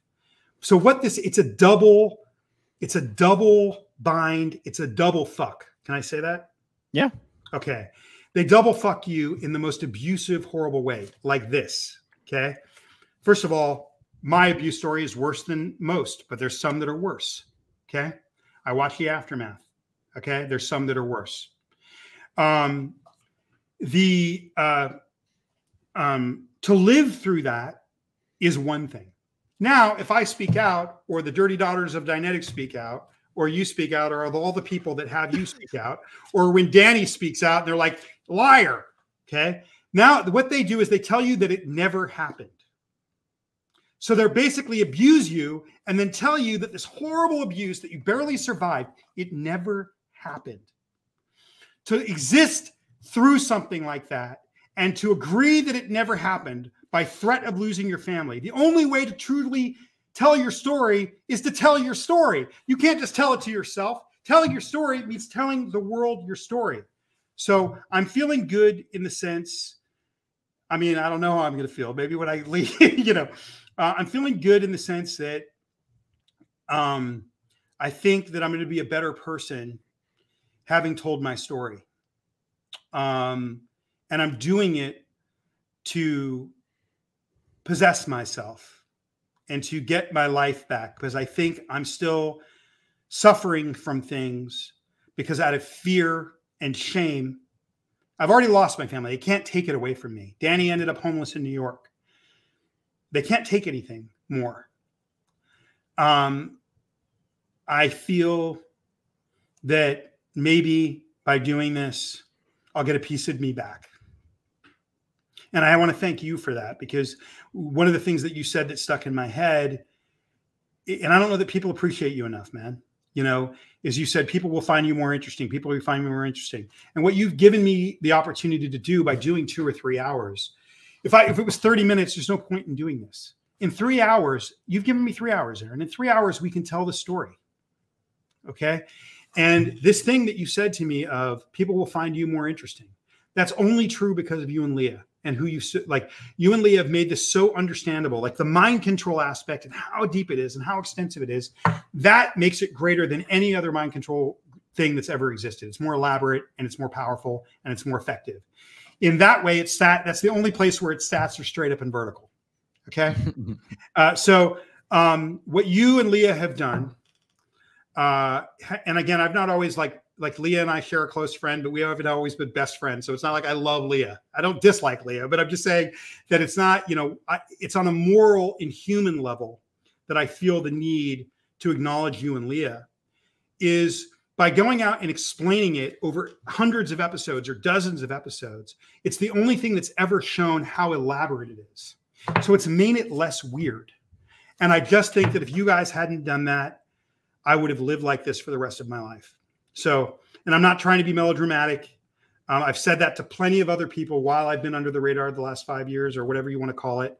I said that all the time, like, oh my God, Aaron and Leah, you know, what they've done to, to take out the weird. And I've seen it. You know, people have found out over the years. I got outed when I was at LSC. It was one of the most humiliating things in my life at college. I've been outed in the last couple of years. It's way less different now when I've been outed. It's people are different because they know about it. They know how it works and they understand that it's special in the way that it hurts people. Wow. Hey, my earbud just died and I put in the other one. Can you hear me okay? Yeah, perfect. Okay, good. Yeah. Um guys, for anyone just joining us, uh the two books that I'd like to encourage people to check out, uh, written by Jamie, is The Invisible Machine, The Startling Truth About Trauma and the Scientific Breakthrough That Can Transform Your Life, and uh, a kid's book about resilience. You can get both of these books anywhere where you get books. Um, and I'd like to make a plea for help based on that. You know, if people are sitting there going, "Hey, how can I help this guy?" You can buy that book and you can share it and tell everyone you know about it because you don't. You can. You need to know that what you're experiencing is biological, and you need to know that you can get relief if you really want it. Okay.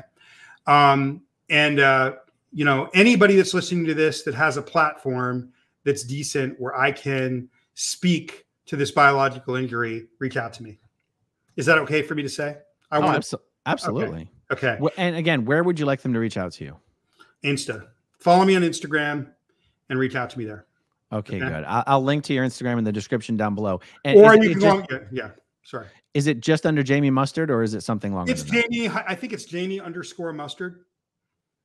Okay. I can, yeah, you can check it out while we're on. And Okay. you know, somebody can go on Instagram and tell you what it is. Eh, You'll see this book, The Iconist, repeated over and over. You'll also see the last post was The Invisible Machine. There aren't a ton of Jamie Mustards out there. I'm easy to find. Okay. So, guys, real quick about the truth rundown. Oh yeah, thank you. And by the way, for anyone watching who not only received the truth rundown in Scientology, but was trained on how to audit the truth rundown, if you want to do a video with me about it, please email me at growingupinscientology at gmail.com. Because, Jamie, I'm going to give myself sort of a pass here. I'd never received it. I never audited it. I never even knew I, I'd heard I'd heard about it. I'd never even knew what it was until after I left Scientology and read some other people's books who had received this. And it's it's a very few public. The truth rundown is something that everyone going through Scientology's rehabilitation project force receives. The re-education work camp. Where you have to run everywhere. You have to. You can only spoke if spoken to. You wear a Holocaust armband. At least- at least you did when I was Yeah. a kid, and you are basically worse than a second-class citizen. Hubbard's compassion, Lafayette's compassion. And every now and then a public Scientologist will receive the truth rundown. And I this was never really on my radar until I read Leah Remini's book. And when Leah, so all I'm going to share with you is briefly my understanding of, of having spoken to a bunch of people who've done the RPF and told me Okay. about this. Okay. The truth rundown is basically where Scientology has taken issue with uh, some things that you've reported and complained about. You've said, I observed X, Y, and Z. I think X, Y, and Z of some senior Scientology executives. Scientology goes, Well, this person has a distorted idea of the truth. They think something is true and it's not. We need to fix this. So you basically get interrogated for your own crimes, your own harmful acts, your own misdeeds until you come to the realization that what you thought you observed, you didn't really observe. What you thought you heard, you didn't really hear. What you concluded, you now realize was incorrect. And that's why it's called the truth rundown. You have to basically brainwash yourself into convincing yourself that what you previously thought was the truth was not the truth. And now you've come to terms with the truth. And to me, it's the closest thing you could ever come to honest to God brainwashing. Well, you know, I was forced to care for my little brother. The only reason I moved back in with my mother at nine and 10 years old was because she came back from training and she needed someone to care for her child. And I was told that was my job. It was still way too many of us in a one bedroom apartment, and it was a slum at 4816 Fountain Avenue. Um, but the idea that my brother slept with a girl after having no parent, you know, very limited parenting, he had a better chance than I did because we lived in Oregon during part of his childhood. Um, that he slept with a girl and spent from 16 to 23 on that and went through that process. It makes me want to cry because I raised him from a baby because my mother wasn't around. I, he was my responsibility. And um, he, he doesn't talk to me, and I don't blame him. And when you describe that to me, Aaron, you know, I used to get really mad when I would see people that were involved with the group, ex members of the world the group, ex members of the Space Navy involved with the group, talk about brainwashing because I don't even know what brainwashing is. But I'll agree with what you just said. That what you just described is the close. I would not disagree. That's the closest thing that I've ever described heard of. Uh, that technique that you just described, if that's what it is, uh, that's brainwashing in every definition that I could possibly be imagined. I think it would make the CIA blush. Okay. So the fact that my brother might have gone through that or did go through that, I mean, seven years, I imagine he did. Uh, half of his life at that point, when you're, I mean, imagine that. I know. Half of his time on earth. It's crazy. Yeah. Um, uh, you know, um, I I just have love and compassion for him, and I'm sorry. You know, Yeah. hey, we almost made it to uh, three hours. are we going to answer questions? Should we answer questions? Sure. Yeah.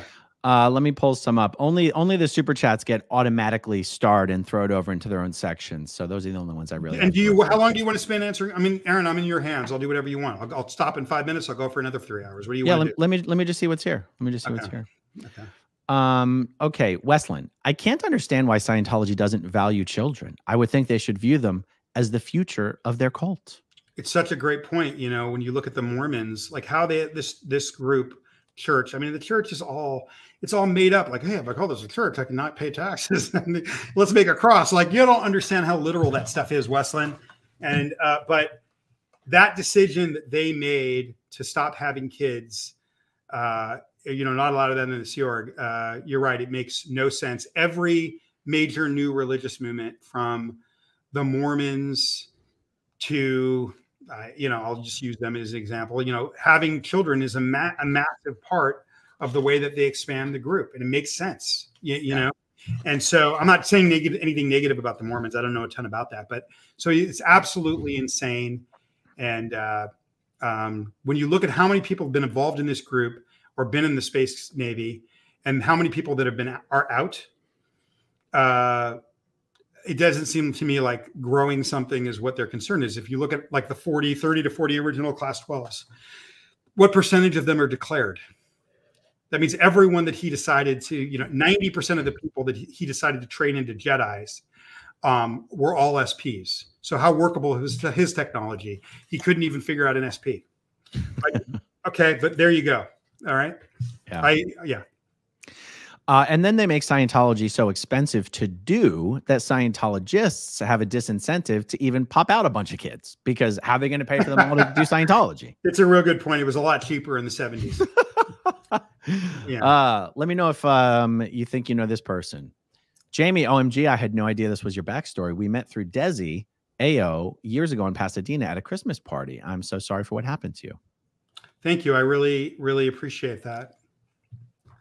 Thank you, Mama83. Send me a message on Instagram. and I hope I hope it's because you're a mama and you have beautiful children.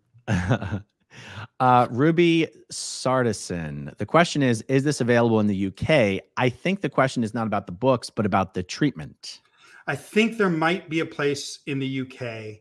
I know it's available in Sydney, Australia. But again, send me a note on Insta. Follow me on Instagram. Uh, send me a note, and I will see what I can do. Okay. Uh, yeah. And then also anybody that comes through me, I will put, I will give you a link, Aaron. Okay. I don't know how we should, I have a link from the Stella Center that anybody that used that link gets like something like 25% off or something like that, which is significant. You know, um, it's almost $3,000, but I think it's around $2,000 eh, with all the discounts, maybe 2,300 for both sides. Um, if you compare that to psychotherapy or being on drugs or having, or just your bourbon habit, it's or you amortize that over the rest of your life and just your happiness i think it's pennies. And i think we're going to see in the next year or two employers paying for it uh, uh, because the military is gunning. And also we're going to see the insurance companies paying for it. That's all uh, in wet under all it's all happening. Very cool. Christine nelson thank you for continuing to show us how resilient determined and driven former scientologists are to help not just themselves but others two. Uh oh, she used the former word. I'll take it, Christine. I'll take it. um, all right, let's see. Eat more pizza now. Much respect for Aaron having great guests. Oh, Aaron is the best interview. Sorry, I thought that was a compliment of you, not me. I didn't mean uh. I, you deserve a compliment. I'm good. sorry. We'll, we'll, share it. Okay, we'll okay? share I, am a great guest. Say, I'm a great guest and uh, and you're a great you're the best interviewer. There you go. Right. Uh, Lena on me. Would the would the way you felt about your achievements be considered imposter syndrome? You're fascinating. Thank you. I'm going to write my book. You know, it's interesting. I've heard about imposter syndrome for years, and I don't know that I've ever felt that. But I will tell you that uh, I, I, felt other things, but I'm not quite. I always felt like I deserved to be there. I think I have like my grandfather's DNA of being an orphan, a beautiful orphan black prince in in the South.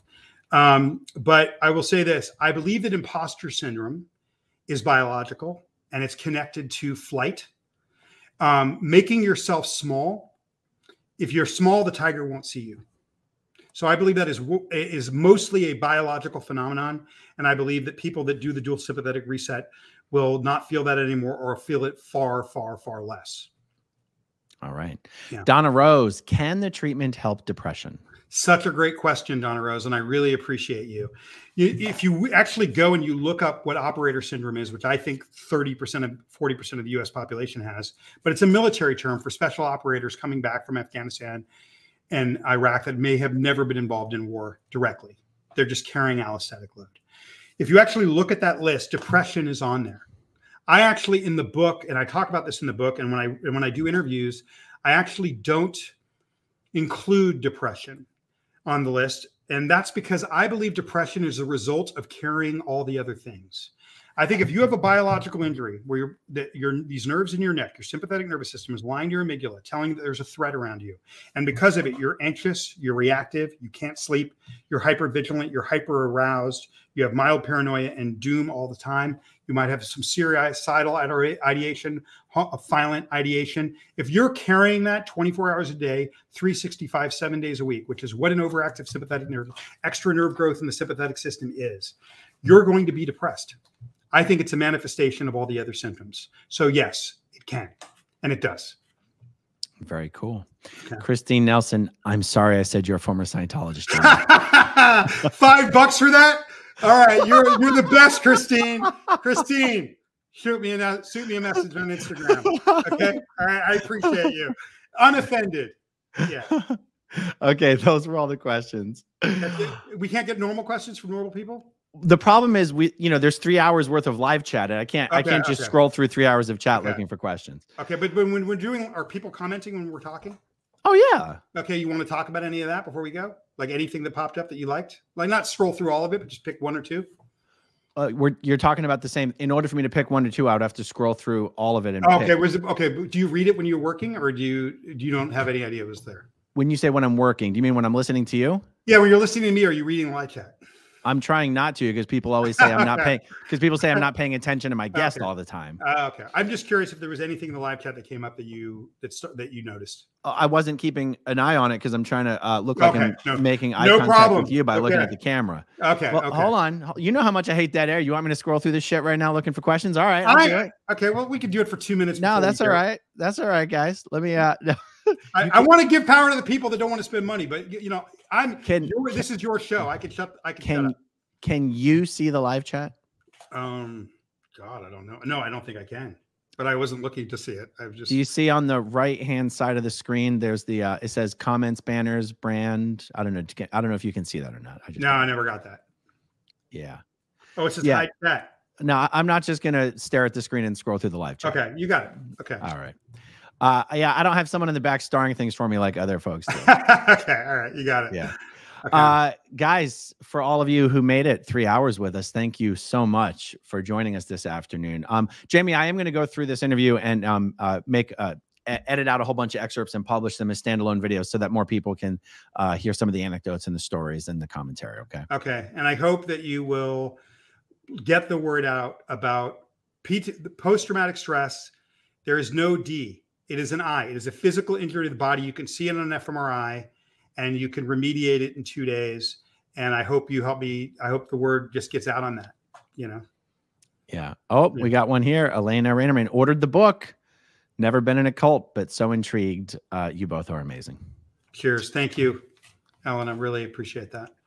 Uh, and and hey, let's do a whole bunch of chats. This isn't like a one and done. Let's uh, anytime you got a subject that uh, you want to chat about, just uh, hit me up and we'll we'll do a little chitty chat yeah, if I could, yeah, I'll just like pull myself off the ground and we'll see how I do. But yeah, no, it's fine. I'm, I'm feeling, I'm feeling good. I, I mean, I'm processing a lot. Like this whole event was processing, and I'll be processing, I'm sure, this event over the next couple weeks. And again, if you have a platform where you think people need to un, need to know the true, you know, what is real, that post traumatic stress is a biological injury, and the science behind that, um, I would uh, please whether it is it doesn't have to be related to any sort of ex member of a high control group. Just any if you have if you're listening to this and there's any platform where you would like to talk to me about that, please reach out to me. I would be honored.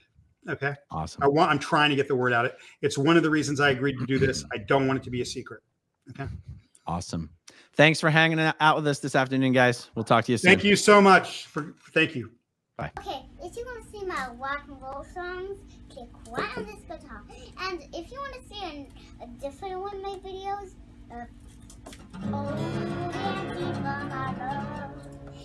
then you could click right inside here. If you have subscribed or not, subscribe right here.